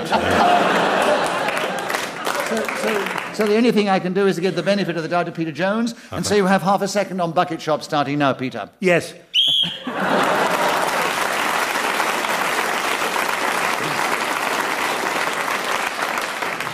So Peter came from nowhere in that round and gained a number Went of back points. there afterwards. Graham Norton's in fourth place, then Peter Jones. Paul Merton is behind our leader Clement Freud, only one point behind him. I mention that fact because we are now entering the last round of the show, and it is Clement Freud to begin, and the subject is making waves, starting now. It seems to me that the subject of making waves when you are one point ahead in just a minute is not one which is conducive to winning a game, because it is simply too difficult to explain the manufacture of oscillation on the water in the number of seconds which I will have to spin out my monologue in order to explain this to the good people sitting here in this theatre, waiting for me to stumble or fall. Get into a bathtub and move your hand backwards and forwards, and you'll be surprised how many waves will appear on the surface of the water, causing Uh, great. Paul Merton challenge. Repetition of surface. Yes. Really? Yes, yes. I think someone's in love with you out there, Clement. no, he, he did repeat that. Um, so, Paul, you have the subject of making waves, and there are 22 seconds left starting now. Wave making machines have become very popular in swimming pools up and down the country. Local town councils have got involved in invested in these particular apparatus, and they are very popular with people. You, Graham Norton challenge. Was there a popular? A Uh. Yes, two populars there. Uh, eight seconds for you, Graham, on making waves starting now. Making waves is something that David Copperfield, the magician's hairdresser, seems to do overtime, I feel. In the mistaken.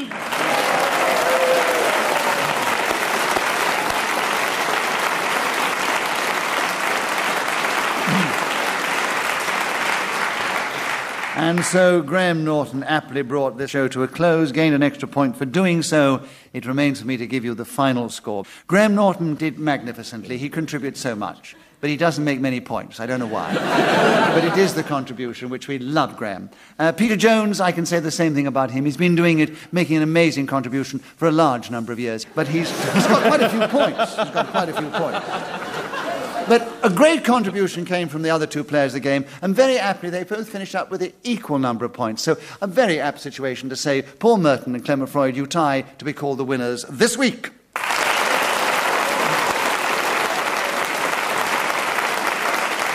It only remains for me to say thank you to our four outstanding players of the game. Also, I must thank Elaine Wigley for keeping the score so well, blowing her whistle so delicately, our producer Anne Jobson, Ian Messiter for thinking of the game, and also from me, Nicholas Parsons. We do hope you've enjoyed it. Be at the end of your radio sets the next time we take to the air to play just a minute. Till then, from all of us here, goodbye.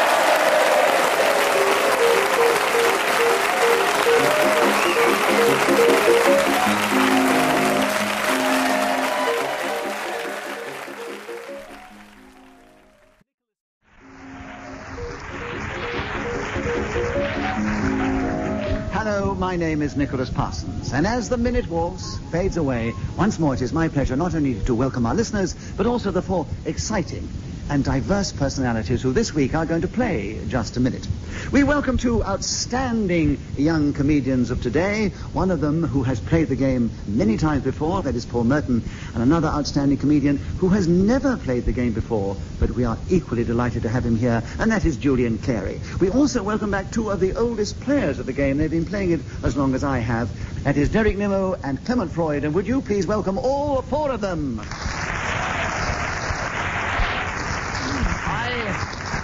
I'm very fortunate where I sit because I have beside me the lovely Elaine Wigley, who has a stopwatch in one hand, which lets me know how many seconds have passed after each challenge, and also she blows a whistle when 60 seconds have passed. And this particular edition of Just a Minute is coming from the Jersey Arts Centre in St Helier, the capital of this lovely Channel Island, and we are facing a highly motivated and exciting Jersey audience. And as usual, I'm going to ask our four players of the game to speak, if they can, on the subject I give them, and they will try and do that without hesitation, repetition, or deviation. And the first person to begin is Clement Freud. Clement, the first subject is Jersey. So would you talk about Jersey? For just a minute, if you can, starting now. Jersey is the name of a pullover which comes from the eponymous island, the largest of the group of Channel Isles. It is a place from which people don't come as much as go. I mean particularly Alan Whicker and Fanny Cradock, as opposed to Mrs. Langtry and Matt Letitia. To socially aware people, the name Charles Villiers, who has Osterley Uh, House Derek in... Nimmo has challenged. Deviation Guernsey.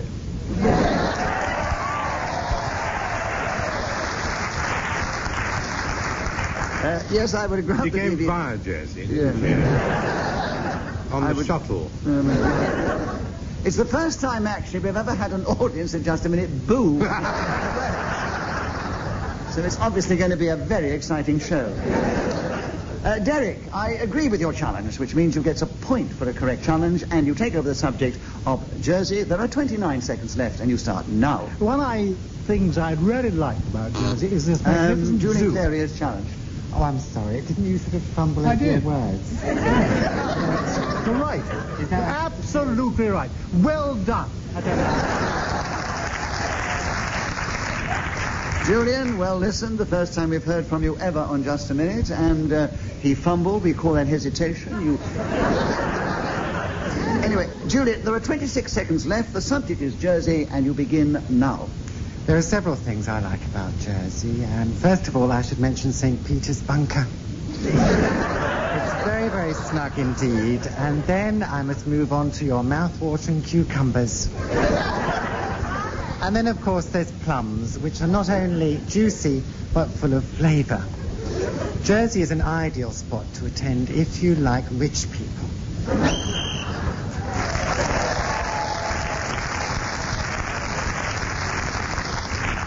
Whistle tells us that the 60 seconds are up, and whoever is speaking at that moment gets an extra point. On this occasion, it was Julian Clary. Uh, Paul Merton, will you take the next round? The subject, wrestling. Will you tell us something about that in this game? Starting now. Every Saturday afternoon on ITV, I used to watch wrestling that used to be broadcast from various parts of the mainland, Wolverhampton Town Hall or somewhere in Ipswich, and I particularly enjoyed wrestlers such as Bert Royal and Vic Faulkner. And the great thing about British wrestling is it's so obviously faked. I remember one particular practitioner of the art, a, a wrestler called Jim Breaks, who actually fell out of the ring because somebody threw a towel at him. And this is burnt in my memory. He was a bit of a hard man, and he was having an argument with the referee, and his opponent threw a towel, which is... Uh, Derek challenge. Repetition of playing it up. Yes, he threw the towel in uh, there, and so that is a repetition. He did keep going for um, 37 seconds, which was very good, and 23 remain for you, Derek, to take over the subject of wrestling starting now. I wrestle with my conscience every time Mohamed Fayed offers me a free holiday at the Ritz in Paris. I say to myself. But Al, as he likes to be called, is so persuasive. Sometimes he sends me food hampers from his emporium called Harrods, which I gratefully receive. But there is no catch to it. I will not ask questions at equity meetings just to please him. Julian Clary, uh, would you like to take the next round? The subject is Bergerac. Very, a very apt subject. Obviously, some people in the audience didn't enjoy it from their reaction. But uh, would you talk on Bergerac? 60 seconds starting now. Oh, Bergerac. It's a television detective series. Some would call it a defective series. Starring. Who did that? Quickly, keep going. Starring. I'm sorry, Clement has buzzed. It was a repetition of series. Uh, and I'm not going to give it to you against because we want to hear from you, and you've only just got going, and there are 52 seconds left. But we don't score any points on that one. It's still with you, Bergerac, starting now. So popular. Paul Merton challenge. Repetition of series. Well, as I didn't give it against him the last time, I can't give it against him this time. So this time you've got a point for an incorrect challenge. So uh, you keep going with 50 seconds on.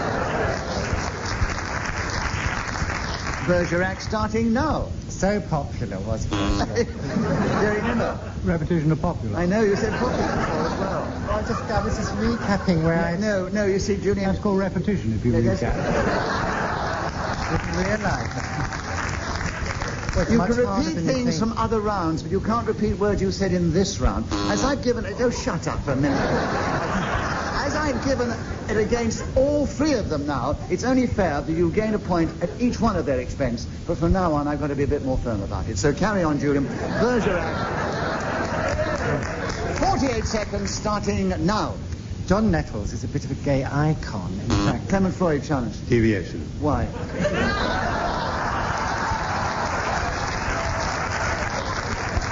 You disagree? He said neither popular nor series. Oh, a very subtle, clever challenge. I thought we were challenging on the icon. Um, that was a, definitely an incorrect challenge, Clement, but it was very entertaining. And um, 44 seconds or less for Bergerac. Still with you, Julian. Uh, starting now. he has Bergerac bed linen and a Bergerac soap on a rope. His whole life is one long.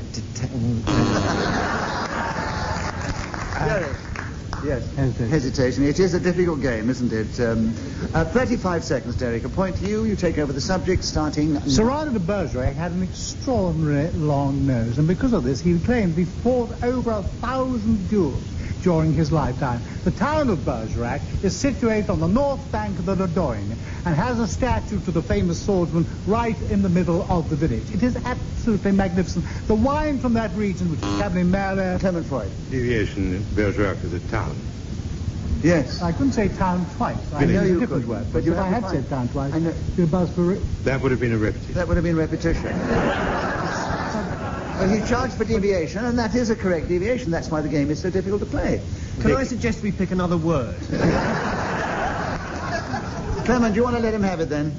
He's determined not to let go on it. 15 seconds, Derek. Bergerac, starting now.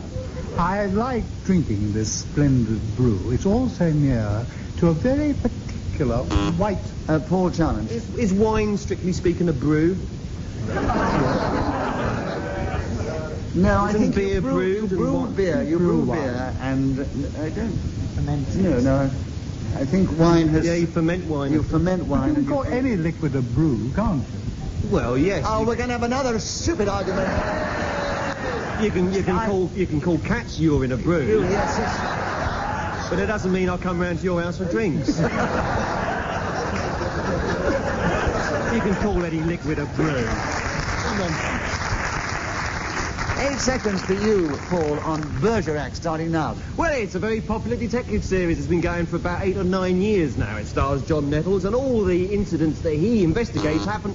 Derek Nimmo challenge. Nothing going on. It's finished. Two days. It's, it's currently being repeated on UK Gold. He's right, I'm afraid. One second with you, Paul. Bergerac, starting now. How many seconds have I got? One. Yes. The end of round, Paul Merton speaking as the whistle went, got an extra point. He's in third place, one point behind Julian Clary, who's in second place behind our leader, who is still Derek Nimmo. Clement, your turn to begin. The subject, sour grapes.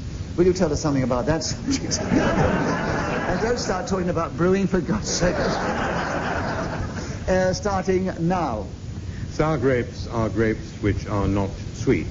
Or to put it another way, grapes which are sour or lack a certain sugar content. Paul Merton challenge. Hesitation. Yes, indeed, indeed. Sour grapes with you, Paul. 50 seconds are left, starting now. I was round Derek Nimmo's house the other night drinking this rather delicious, marvellous cocktail, and I suddenly thought all these grapes were a bit sour. And he said, no, it's not grapes, it's actually cat's piss. I just put it in there. He said, because basically any liquid is a brew. And of course, I was forced to agree with him. I once bought a bean. Derek Nimmo challenge. Deviation. I wouldn't have him in the house. But, um, interestingly, he doesn't deny that he serves cat's piss.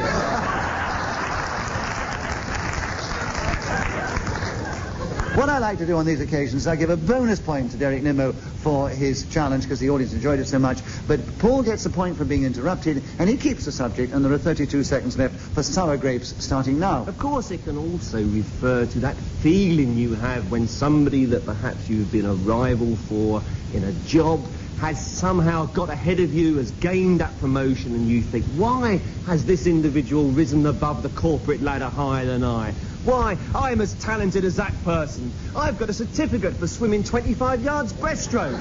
Can this other claimant lay such a claim? No, they can't. Uh, Clement Freud. Repetition of person. I let him go on for a bit. Yes, uh, you did repeat person. I'm Did I really? Yes. And Clement's got in with five seconds on Oh, sour five seconds, is it? Oh. Yeah. It's a subtle way of playing the game if you've got the courage to see it through. A gambling man can do that, Mike Clement. Five seconds starting now. Sour grapes, philologically, is whinging, whining, not taking your just desserts.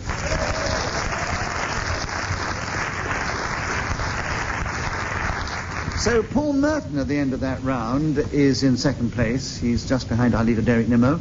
He's followed one point behind him is Julian Clary, and then Clement Freud in fourth place for once. And Paul, your turn to begin. A small holding.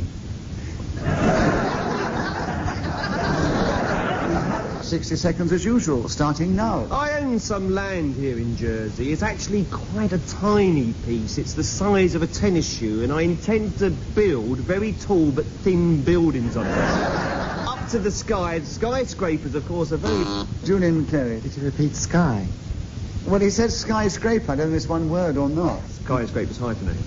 If you want to be kind to your friend Julian and say, all right, it was hyphenated, you can have it. All right. Yeah, yeah, it's hyphenated, I think. Hyphenate, skyscraper. right, there we are. Isn't that generous of him? Is he uh, being Paul? kind? He's being, yes. So a small holding is with you, Julian Clary, and 46 seconds are left starting now. Small and, uh, Paul Merton Charles. Hesitation. He's being very kind to you, isn't he? Another point to Julian Clary, and a small holding still with him, and 46 seconds left starting now. You could grow rhubarb on a small holding, and sometimes you could go down in the afternoon, look under the rhubarb leaf. And Derek Nimmo challenge. Rhubarb. Oh, yes. Yes, you had too rhubarb, much- rhubarb. You had too much rhubarb on your small holding, I'm afraid. Uh, Derek, a correct challenge. 38 seconds left. A small holding starting now. The first holding I bought, I drove from Alice Springs to Broken Hill. It was yellow and had a very good engine with a rather curious gearbox. I don't know why Holdens have gone out of popularity. They used to sell a great deal in Malaysia and all through the Far East, but these days they seem to move on to Fords and Toyotas like so much of the world. But Holden was a particularly good motor car, and I had a great affection for it, and it was very difficult for me when finally, because I was leaving the Antipodes, I had to sell it. And I was immensely sorry. I back Well, Derek Nimmo kept going magnificently there until the whistle went, so he's increased his lead at the end of the round. And uh, whose turn is it next? Oh, Derek, it's also your turn to begin. The subject, my favourite flowers. 60 seconds starting now. My favourite flowers are the family flowers that live in Bristol. And my son, Piers James Alexander, last May married Marina Flowers. You may well have seen pictures in Hello. And it really was the most marvellous wedding. And they have, the head of the family, actually, is called Mikey. and he's an awfully jolly flowers, really. And his wife is called Jean, and they have a daughter of extreme beauty called Louise, who is now my And Paul daughter. Merton challenge. Free called. Be called, yes. Yes, all right. Mm, That's right. mind. I'm not- Paul. I, I thought it was hyphenated. eh? 32 seconds. My favourite flowers starting now. I don't really have any favourite flowers. Clement Freud, son. Better shut up and...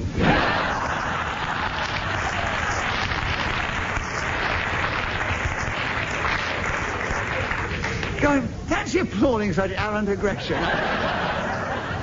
But as they enjoyed it, Clement, I give you a bonus point for your timing. And uh, but as Paul was interrupted, he also gets a point.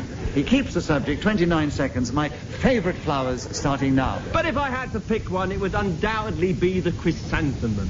What a wonderful flower that is. There was somebody here in the front row who murmured agreement as I mentioned that. Julian Clary challenged. That was me who murmured.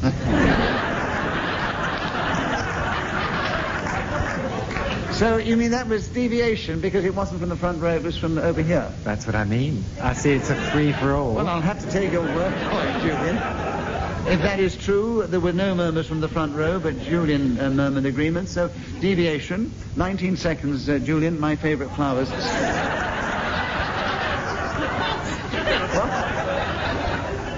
Uh, that is logical. If the murmur didn't come from there, but it came from in here. your life. No, but when I have a new player on the game, I try to use illogical logicality. Let's Uh, press on. Um, Julian, you have the subject of my favourite flowers starting now. My favourite flowers are Mesembryanthemums, although don't ask me to spell it. I like them because they open up when the sun comes out. They expand like that, their petals shaking in the sunlight, and then if the...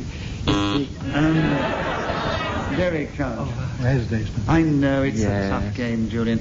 And he's got him with six seconds to go on my favourite flowers, Derek, starting now. I have a most magnificent Rosa Banksia, which is now 35 feet high and expanding all directions. Well, at the end of that round, Clement is training a little, but Paul Merton and Julian Clary are equal in second place, but quite a few points behind our leader, who is still Derek Nimmo. And Julian, your turn to begin. The subject, Bob's your uncle. Will you tell us something about Bob's your uncle in just a minute, starting now? Bob's your uncle has several meanings. It means there we have it, or done and dusted, words like that. It also means Bob is your uncle, as is the case for me. My uncle Bob lived on the island. Derek Nimmo challenge. It's, the subject is your uncle, not my uncle. Deviation. It doesn't matter. He, Bob's your uncle, not Bob's my uncle. If we had to talk about Bob's my uncle, that'd be on the card. but he can still talk about his Uncle Bob as opposed to Bob's your uncle. Deviation. we if the subject was Bob's Fred's uncle, could he still talk about his Uncle Bob? You are very obstreperous on occasions, Derek. No, he hadn't got it going enough to cause deviation. So, Julian, 44 seconds left. Bob's your uncle, starting now. Trying to open your mouth sometimes.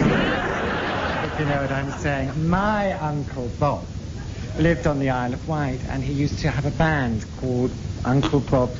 I think that was. I think Yeah, that definitely having was, a yes. nervous Clement. breakdown now. Yeah. Clement, the subject, 33 seconds. Bob's your uncle, starting now. If I had an Uncle Bob, I would send him to Jersey for tax purposes, and I would get him to farm a crop of potatoes. There is nothing more wonderful than those tubers that come from the island.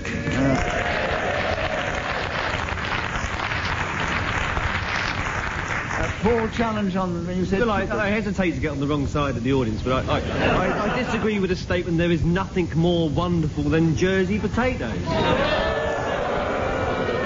Excuse me, are you aware of the Euro tunnel? Man has landed on the moon. We are, we are sending satellites to Uranus. But no, you'd get rid of all that as long as you had a bag of spuds, wouldn't you?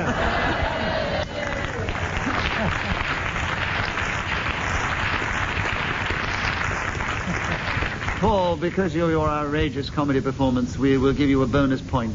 Right, um, Clement, you have another point for being uh, incorrect challenge, and 18 seconds are left for. It's it's still Bob's your uncle, isn't it? Jersey Laurels, uh, For Bob's your uncle, starting now. If Bob's your uncle and wants to eat the delicious, waxy, yellow things that come from the earth on the outskirts of St. Clement's, steam them, a little butter, parsley, and Julian, you've challenged. Um, A deviation. yeah, deviation, he's- horrible. He's, he's away from Bob's your uncle. He's on the uh, potatoes, isn't he? Yes. Well done. You spotted that quickly. And you got in very cleverly. You're getting good at this game. One second to go. And the subject is still Bob's your uncle starting now. If I get to the end of... So the contest is getting uh, tighter, more fraught. Clement Freud is creeping up on Paul Merton, which is rather sinister, seeing he's sitting beside him. And um, Paul's just behind Julian Clary, a first-time player of the game. He's only two points behind our leader, who's still Derek Nimmo. Clement, your turn to begin. The subject, flattery. Will you tell us something about that subject in this game starting now? On a recent birthday, Mr. Bill Cockburn, who was then chairman of Royal Mail, was kind enough to give me a penny black stamp. And I said to him, philately will get you nowhere. It is not the only nice thing that I've said. I have come here and made the most outrageously uh, nice remarks. Derek Nimmo challenge. Ah, hesitation. He did hesitate before he said about the outrageously nice. Right, 38 seconds. Derek, with you. Uh, flattery, starting now. Flattery is what people say to your face they wouldn't say behind your back. There are two kinds of people that uh, like flattery. Clement Freud challenge. Two people. 29 seconds. Clement, flattery is back with you, starting now. If there's any one thing more appealing than Nicholas Parsons' brain, it is Derek Nimmo's beauty. but Julian Clary, in his own way, has an elegant, sophisticated delightfulness, matched, I think, by Paul Merton. Paul Merton challenge. What rubbish. So, but are you allowed to speak rubbish in just a minute as you? Deviation. I have not, I haven't got a scrap of elegance in my whole body. We haven't quite got to what you had, actually. Uh, so I disagree with the challenge. Ten seconds still with Clement on flattery, starting now. As I was saying, flattery is saying things about people which you don't really mean. In fact, we all Uh, know. Paul is challenged again. Two sayings, as I was That's right, saying. yes, back as to you saying. Well, listen, Paul. Four seconds are left. Flattery with you, starting now. I wouldn't take gold. Give me Jersey potatoes every time.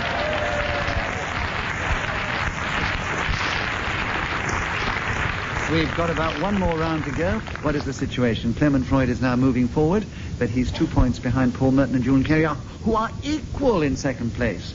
Derek Nimmo's just ahead in the lead, and Paul, your turn to begin. Badgers. Tell us something about those attractive little animals in this game starting now. It's a strange creature. It's the only animal that's mastered the art of the penny whistle. And if you go down to the woods late at night, you can hear the badgers whistling popular show tunes or perhaps an extract of some Mahler symphony, and they can't get enough of it. And people who don't live in the countryside say, oh, what nonsense, the badgers can't play musical instruments, and you say, ah, follow me. And you take them down to a little set where there might be a couple of these delightful creatures and a drummer just in the corner. and they've got the violin under their arm and they're playing the most gorgeous romantic gypsy music. Of course, the badger. Derek Nimmo. That is the music, I'm sad. I know, we were enjoying that.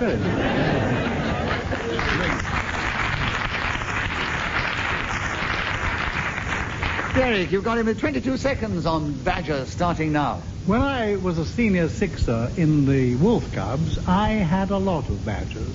I got them mainly for good work like tree climbing, looking at Uh, small Paul creatures in the woods playing musical instruments. What's to do? Um, how long have you got? Um, I think it was deviation.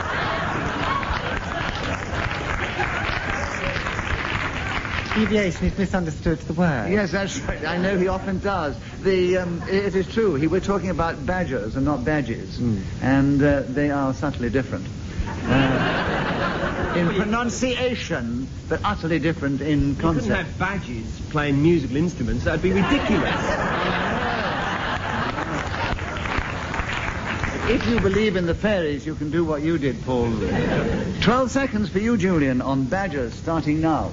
My favourite programme is on BBC One. Derek Nimmo challenge. Repetition of B, BBC.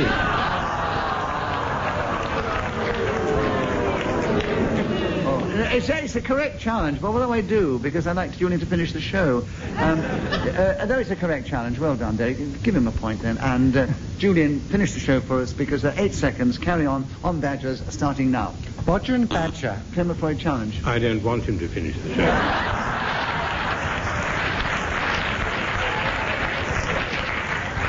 So you were challenged, and it was an incorrect challenge. so you have another point, and you have seven seconds on Badgers, Julian, starting now. 4.15 most weekday afternoon. Uh, Paul Merton challenge. I'd quite like to finish the show.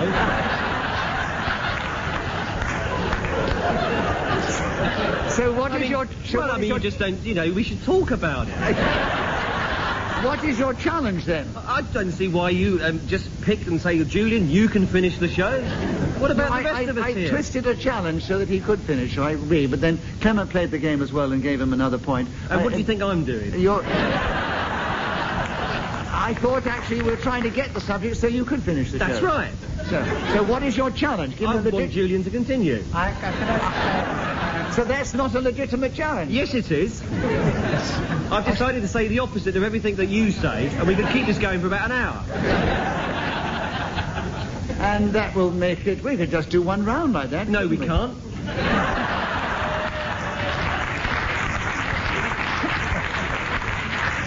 I'm glad this is the last round, otherwise the whole show would grind to a halt, wouldn't it? No. Ah, you agreed with me there. it Uh, wouldn't grind to a halt.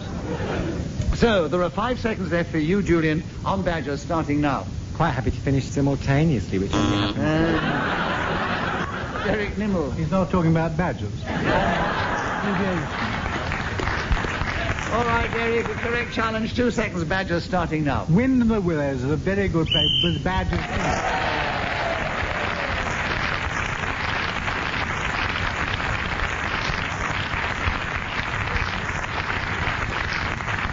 So, as I indicated, that was to be the last round. Let me give you the final situation. And um, first of all, let me say right away that it's the contribution that counts and not the points. But if for those who are interested in points, for once Clement Freud finished in fourth place, surprisingly, behind Paul Merton, who was also surprisingly in third place.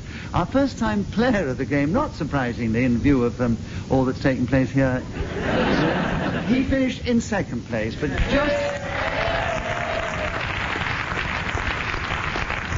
So his contribution was golden, but the man with the most points, three ahead of Julian, was Derek Nimmo. So we say he's the winner this week.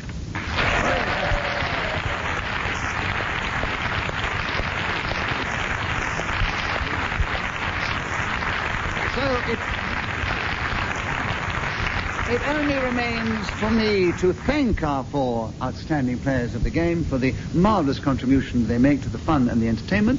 I must also thank Elaine Wigley for so charmingly keeping the score and the stopwatch so I knew how many seconds were ticking away. Uh, Ian Messiter for having created the game, for which we're deeply grateful, Ian. And also Anne Jobson, who organises and produces the show. From all of them and from me, Nicholas Parsons, and our audience here in St. Helier in Jersey, thank you for attending. Thank the listeners for tuning in. Be with us the next time we take to the air to play just a minute. Until then, from all of us here, goodbye!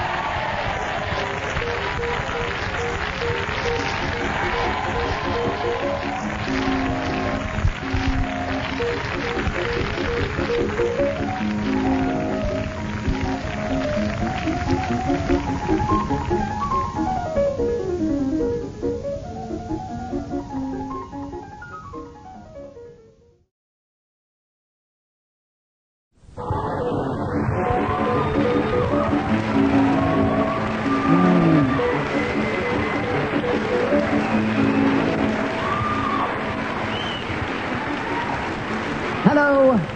My name is Nicholas Parsons, and as the minute waltz fades away once more, it is my pleasure not only to welcome our listeners to the show, but to introduce the four unusual and diverse talents who this week are going to play just a minute. We welcome back two of the original players of the game, original in every sense of the word, that is Clement Freud and Peter Jones. We also welcome two other originals in every other sense of the word, of a different generation who have not played the game so often, and that is Tony Hawks and Fred Macaulay. And would you please welcome all four of them?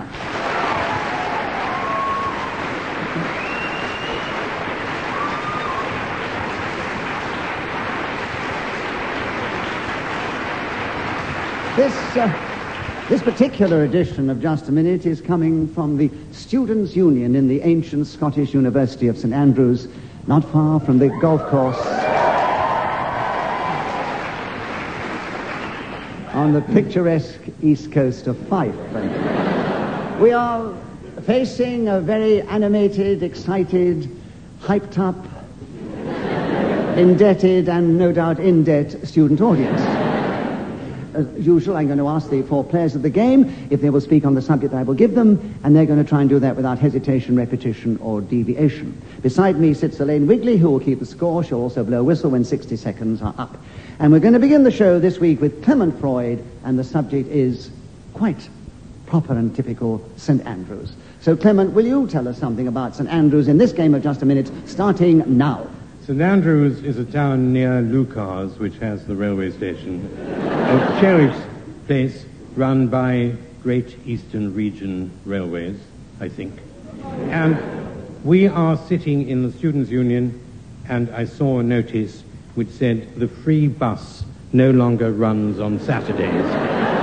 I find it distressing that such a negative notice should be held up and posted on the bar. It's like saying sausages will be served without tomato ketchup. As if somebody might suggest. Peter Jones, you've challenged. Uh, hesitation. Yes, I think there was definite hesitation there, yes. Listen, are you going to be partisan from the word go like that? Uh, yeah, no, there was definite hesitation, was certain the deviation. So, Peter, you have a correct challenge. You get a point for that, of course. And you have 21 seconds to take over the subject of St. Andrews, starting now. Well, St. Andrew was the patron saint of Russia. and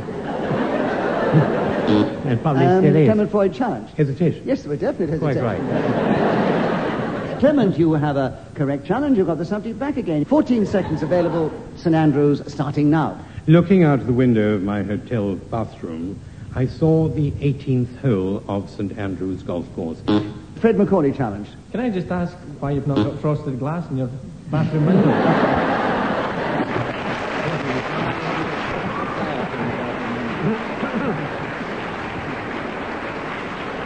Obviously, Clement Freud especially asked for bathrooms without frosted glass. I, I was actually looking in. That was the point I was He making. had the better view, let me tell you. More. So, within the rules of just a minute, Fred, uh, what was your challenge, you think?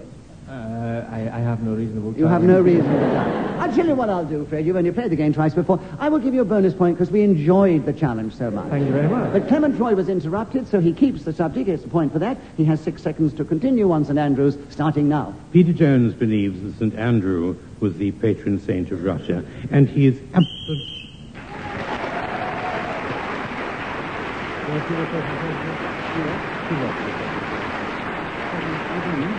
Whoever is speaking as the whistle goes gains an extra point. On this occasion, it was Clement Freud, and naturally, he's in the lead at the end of that round. Uh, Tony Hawks, would you take the next round? The subject is chatting up. Now, sure, the student body here would like to hear from an experienced man like you on that subject, so regale us for just a minute if you can, starting now. I'll tell you someone who must be an expert in the field of chatting up, and that is the assistant to a window cleaner who has to stand at the bottom of the ladder holding it steady because all day he is chatting up. Now, I, well, it is no surprise to me that I've been asked to talk on this subject. Obviously, my reputation as something of a latter-day Casanova goes before me. And there is an expression, there are three ways to tell if a man is a good lover. The first is a poor memory, and, you know, I've completely forgotten what the other two are. My favorite method of chatting up is to go up to a young lady at a party and say, excuse me, but do you know what the capital of Poland is? Fred Macaulay challenge. Uh, it's a deviation because uh, I, Tony Hawks doesn't say that to young ladies at parties. He's asked me that before. Well, it was was obviously a very, very good drink at that party. Though. You can chat somebody up of your own sex. You want to get into conversation, you might want to get to a Speak for deal with yourself. All right, fine. Uh, no, Tony. Uh, a, a very good attempt, Fred. I'm sorry, I disagree with the challenge, so Tony gets a point for that. He keeps the subject chatting up. 13 seconds are still available, starting now. And they, like Fred was, will be enchanted by this simple question. A Clement Freud challenge. Repetition of question. Yes, because you asked the question before. So, repetition of questions, seven seconds still available, and it's chatting up with you now, Clement, starting now. Does your mother take in washing? Has she sold her mangle? What's become of the old piano your sister used to strangle? Has your father plenty of work?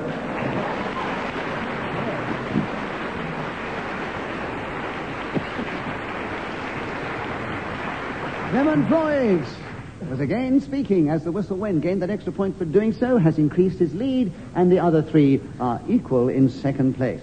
Peter Jones, your turn to begin. The subject, a good dodge. Can you tell us something about a good dodge in just a minute, starting now? Well, my father-in-law was American, used to have a very good Dodge, which he drove around all over Los Angeles. And it had big wings at the side and was a gas guzzler, of course. It used an enormous amount of petrol and went very fast. And the springing was quite unlike the European cars of that time or even the ones from the Far East, which hardly existed, of course, at the period that I'm speaking of. Now, this Dodge, which he had no name for it, it had kind of things like portholes at the side of the bonnet, which were just purely decorative, if uh, I think. I don't think they served any useful purpose. But one went for long trips right through uh, Arizona, and we actually went to as far as Reno on one occasion, which was a delightful experience and would not have been the same had we been in any other make of car because the springing added to the general excitement. And then when we arrived, the matter? What, what time is it?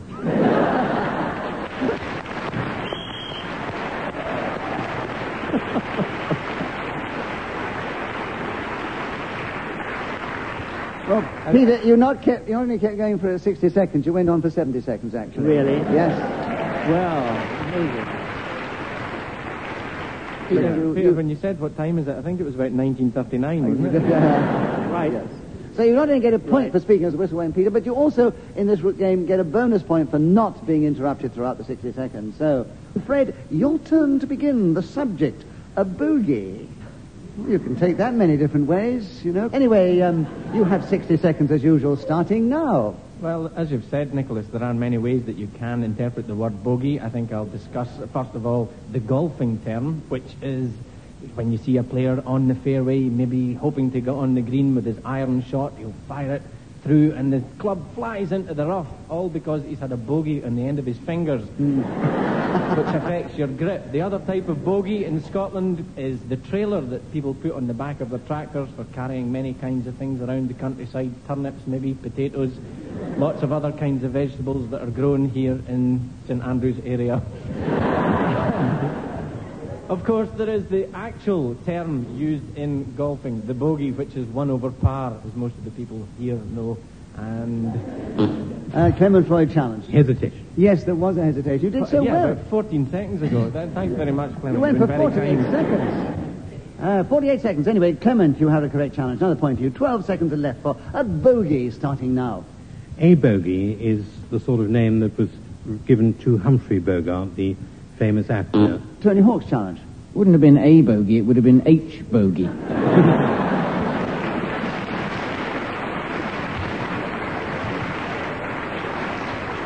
A subtle but correct challenge. Yes, he was known as Bogey, not A Bogey. oh, man. Five seconds for you, Tony, on Bogey. Uh, sorry, on A Bogey starting now. A bogey means you've scored one over par. A double bogey means that you need to blow your nose.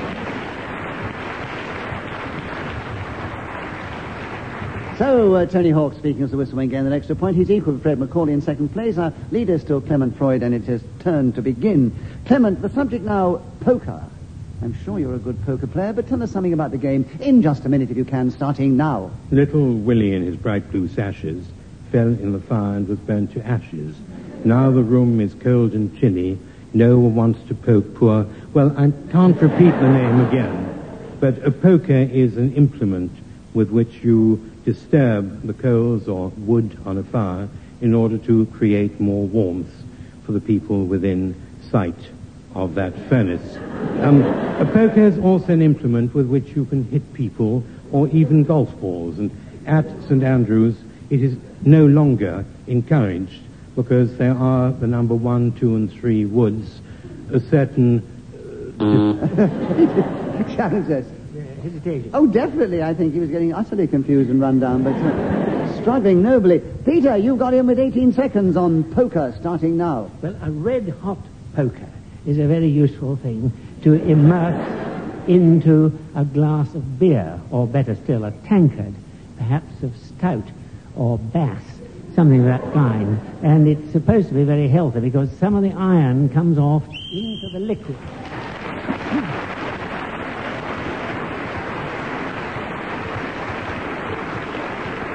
I have visions of the student body bringing red hot pokers into the bar here, the Students' Union, and shoving them in their drinks and seeing the potent effect of it. Peter, you kept going till the whistle went, gained an extra point. You're now equal with Tony Hawks and Fred Macaulay in second place. Clement Freud still in the lead, and Tony, it's your turn to begin. The subject, an oasis. Tell us something about that in just a minute. Starting now.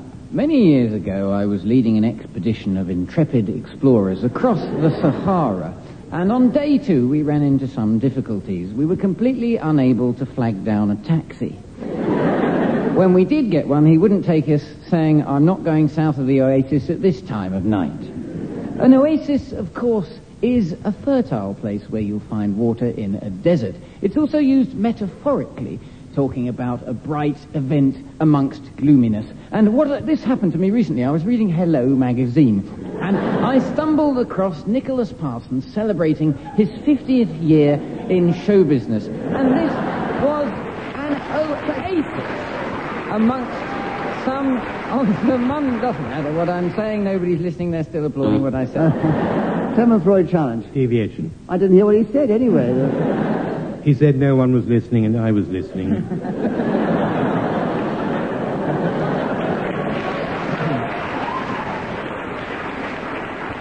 I have to ask you, because of the audience reaction to your uh, remarks, I, did you actually hesitate, Tony? No, but I did deviate, which is what he just said. Oh, I see. I thought he said hesitation. Right. All right, then. Very honest of you, Tony. Nine seconds for you on an oasis. Uh, Clement, starting now. After 50 years in show business, an oasis is probably the very best way to go. I mean, to be taken into the Gobi Desert.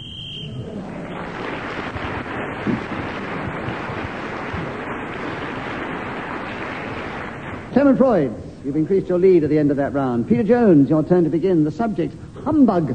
Tell us something about that in this game, if you can, starting now. Well, a humbug is a very tiresome, irritating chap who misinterprets rules and laws and causes a lot of trouble for other people. Humbuggery is very prevalent in this country, though many of the many of the humbugs that I've met have got soft centers, like their uh, namesake, the uh, dessert sweet, which is pillow-shaped and smells of peppermint, and taste of it very often. Uh, uh, humbugs. Tony Hawk's challenge. Well, I thought he sort of ground to a halt there. really. Uh, uh, I think he did. I know he was carried away with his humbugs. 28 seconds available for humbug with you, Tony, starting now. How delighted I was to hear Peter Jones use the word humbuggery not long ago. As far as I can say on Radio 4, I haven't heard that ra- enough. Uh, Clement Freud challenge. Repetition of heard. Yes, you did. He Yeah. heard it from Peter Jones and you heard it on Radio 4. 19 seconds, Clement. Humbug starting now. A person who commits humbuggery would be called a humbugger. a man, a pederast with a speech impediment. And I thought that would get Uh, a laugh. Tony Hawk's a challenge. Well, I think you hesitated because you thought that would get a laugh.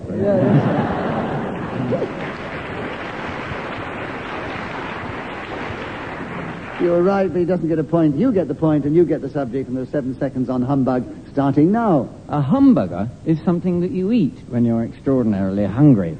Now, that doesn't deserve to get a...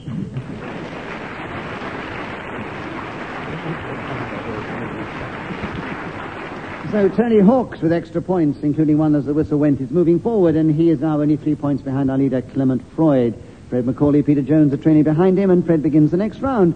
Fred, very apt for the student body here, studies. You were at university. Tell us something about your studies in this game, starting now. It would take me four years to tell you about my studies, but we're fortunate to be here in St Andrews where even as I speak, some of the students are taking notes because they find this more interesting than whatever subject they are, particularly spending their time avoiding during term, uh, whether it's philosophy, psychology, maths, physics, chemistry, some other science subject, biology perhaps, languages for example, English, French, Spanish, German, I don't know, Serbo-Croatian, Russian, Latin or Greek, the classics as they're known, medicine perhaps, dentistry, engineering, for goodness sake, there's no Uh, Clement Freud challenge. Deviation. Why? There's no school of dentistry at St. Adam.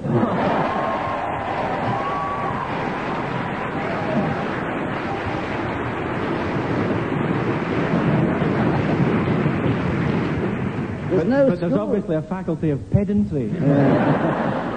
There's no school of dentistry, but he could have been studying medicine first with the idea of becoming a dentist later. To give you the benefit of the doubt, Clement, 19 seconds studies with you starting now. Studies is where people study. They tend to be rooms with a desk. Uh, I think I've said enough. with a desk but nowhere to sit. Peter, you challenge first. Yes. Uh, studies is with you starting now. Well, there are brown studies and uh, nude studies. And there are studies in contemplation and uh, landscape. Same challenge. The, the recurrence of the word air again. I think Yes. it's the hesitation. Very long yes. uh, there. You Yes. cleverly got in front with one second to go on studies. Starting now. Accountant. Uh, someone challenge. Clement.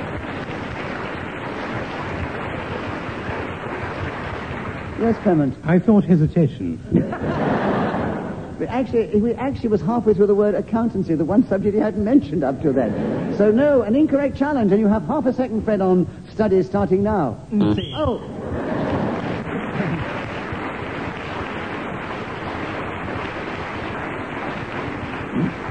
So, Fred Macaulay has got a lot of points of that round. He's now equal to Tony Hawks in second place, just behind our leader Clement Freud and Peter Jones in third place. Summer balls is the next subject.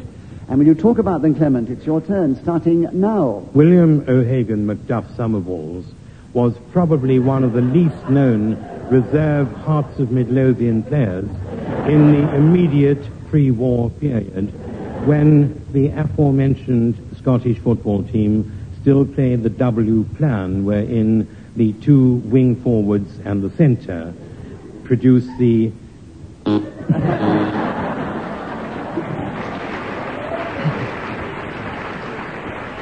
Uh, Tony Hawk's challenge while Clement Freud was actually demonstrating to the audience, which is not the best kind of radio.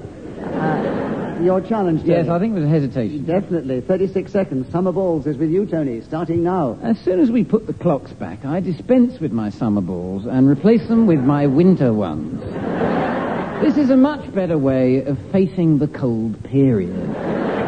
When I was a student, I was invited to many magnificent summer balls. How splendid it was to see the young ladies there, to rush up, ask them what the capital of Poland was, and take it from there, Berlin. Sometimes I'd take any other capital. Those were the ways things went. But Clement Freud challenge. repetition of capital. Yeah, there were too many capitals there, but obviously it was a capital idea you had. Uh, ten seconds, Clement. You grab at every chance in this game, I can tell you.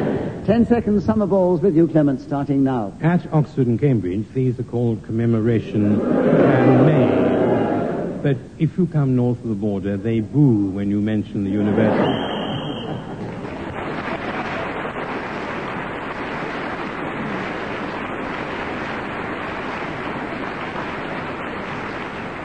Perhaps should I should explain to our listeners, especially as we have so many abroad, that the ancient Scottish University of St Andrews is only a few years younger than the two ancient English universities, and there's a, great natural rivalry, but we know which is the superior because we visited them today.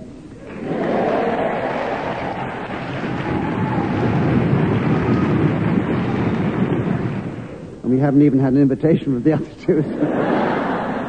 and we certainly won't get one now. So Clement Freud has increased his lead at the end of that round. Tony Hawks, your turn to begin. The subject, getting plastered. Right.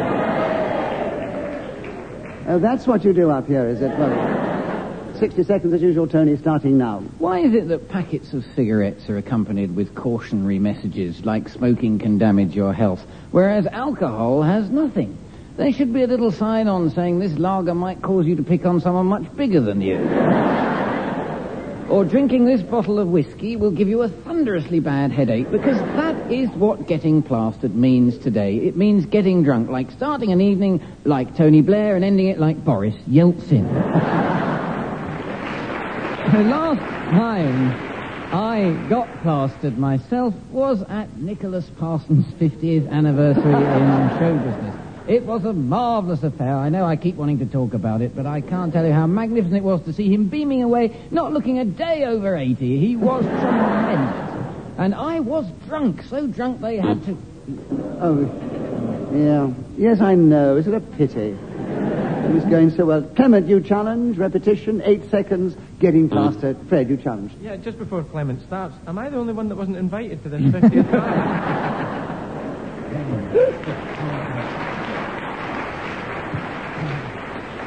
A lot of invitations went out. Some must have got lost to Fred. I will have a special party for you later. That's what we'll Look have. forward to.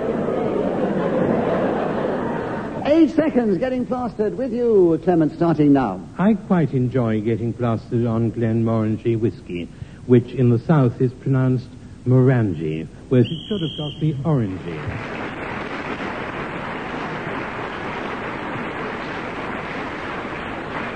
Clement Freud was again speaking as a whistle when gained an extra point and has increased his lead at the end of that round. Quite a commanding lead he has now as Peter Jones takes up the challenge with the next subject. It's sirens, Peter. Tell us something about those in this game, starting now. Well, I think of those mythical creatures rather like mermaids in a way. They're women who sing and lure sailors who are probably desperate for sex of some kind uh, to follow them, and they consequently drown. Now, what these creatures, I mean the sirens, have, uh, what their object is, I don't really know. I've never. Why don't they uh, want to go any further than that? But they, they, they don't seem to. And of course, there's the air raid sirens, which are quite different altogether, and they signal the arrival of enemy aircraft overhead. And you're supposed to rush down into the underground or the cellar or whatever you've got, Anderson shelter, and then if you have any luck at all, you meet a siren down there. and then, what? Uh, Tony Hawks has managed to help you, I think. Well, I, I thought Um, I'd just help him out there. yeah. He just seemed to be You should have kept going for another two seconds. Peter. That's all? That's all. You'd have had 60 seconds. Uh, hang Well, on, I'll a- repeat something, Peter, and you can get back in again. Ready? Two seconds, Tony, starting now. Sirens. Peter, Peter. Peter, you Yes. challenged Peter. He did.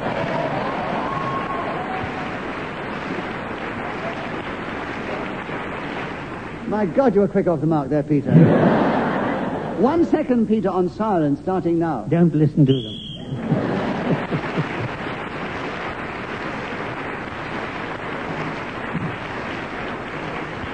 So Peter has moved dramatically forward in that uh, last round. He's still in fourth place, but he's, um, he's only one point behind Fred Macaulay, who's only one point behind Tony Hawks, who are a few points behind our leader, who's still Clement Freud. And Fred Macaulay, your turn to begin. The subject, tourists. Get quite a lot of them up in St Andrews because they've got the golf, they've got this beautiful place. And um, because the students, of course, they recognize them and they trip them up as they go past them. Tourists, 60 seconds, Fred, if you can, starting now. Well, if I was Tony Hawks, I'd probably say something like, Tourists are the things I have at the end of my arms to stop my hands flying off. But as you can tell from the reaction we got from our lovely audience here when we mentioned the word, we don't like them very much. They're complete bloody pains in the necks, apparently. People that come here, they're no more than the lifeblood of the economy, but we don't want them. We give them the traditional St Andrews welcome when they turn up at our bed and breakfast. What do you want? Why can't you do it someplace else? But I suppose since you've come here, you might as well stay anyway. I've been a tourist before, but that was someplace else. I can't really remember. Peter challenged. Hesitation. Yes, Peter, there was a hesitation. 20 seconds are still available for you, and it is still tourists starting now. Very few people actually admit to being tourists themselves, I've noticed, when traveling. They prefer to think of themselves as travelers because it's all these other masses of people who are touring. And they usually subscribe to some big organization like Pontins or something like that. And they're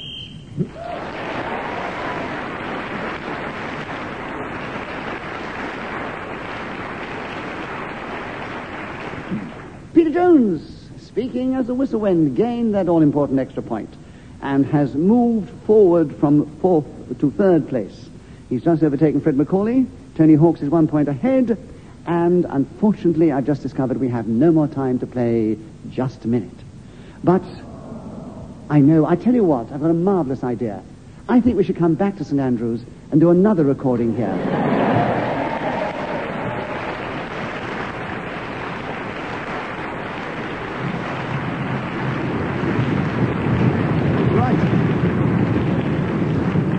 And now you've got the first warning, why don't you go out and get the first seats for that recording? Way ahead of those three in the lead was Clement Freud. So with most points, we say, Clement, you are the winner this week.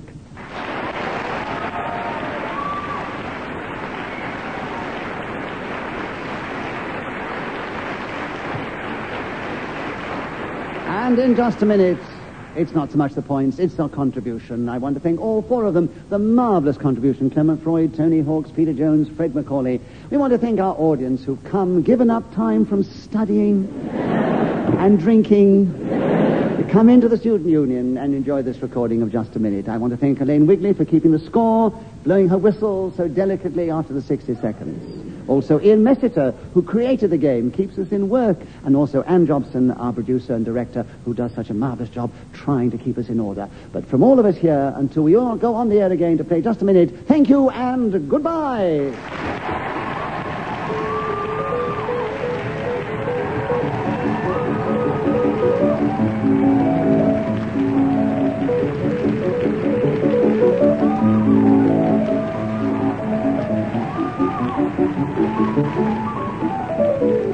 Time next week, the Just a Minute team will be Clement Freud, Peter Jones, Paul Merton and Derek Nimmo.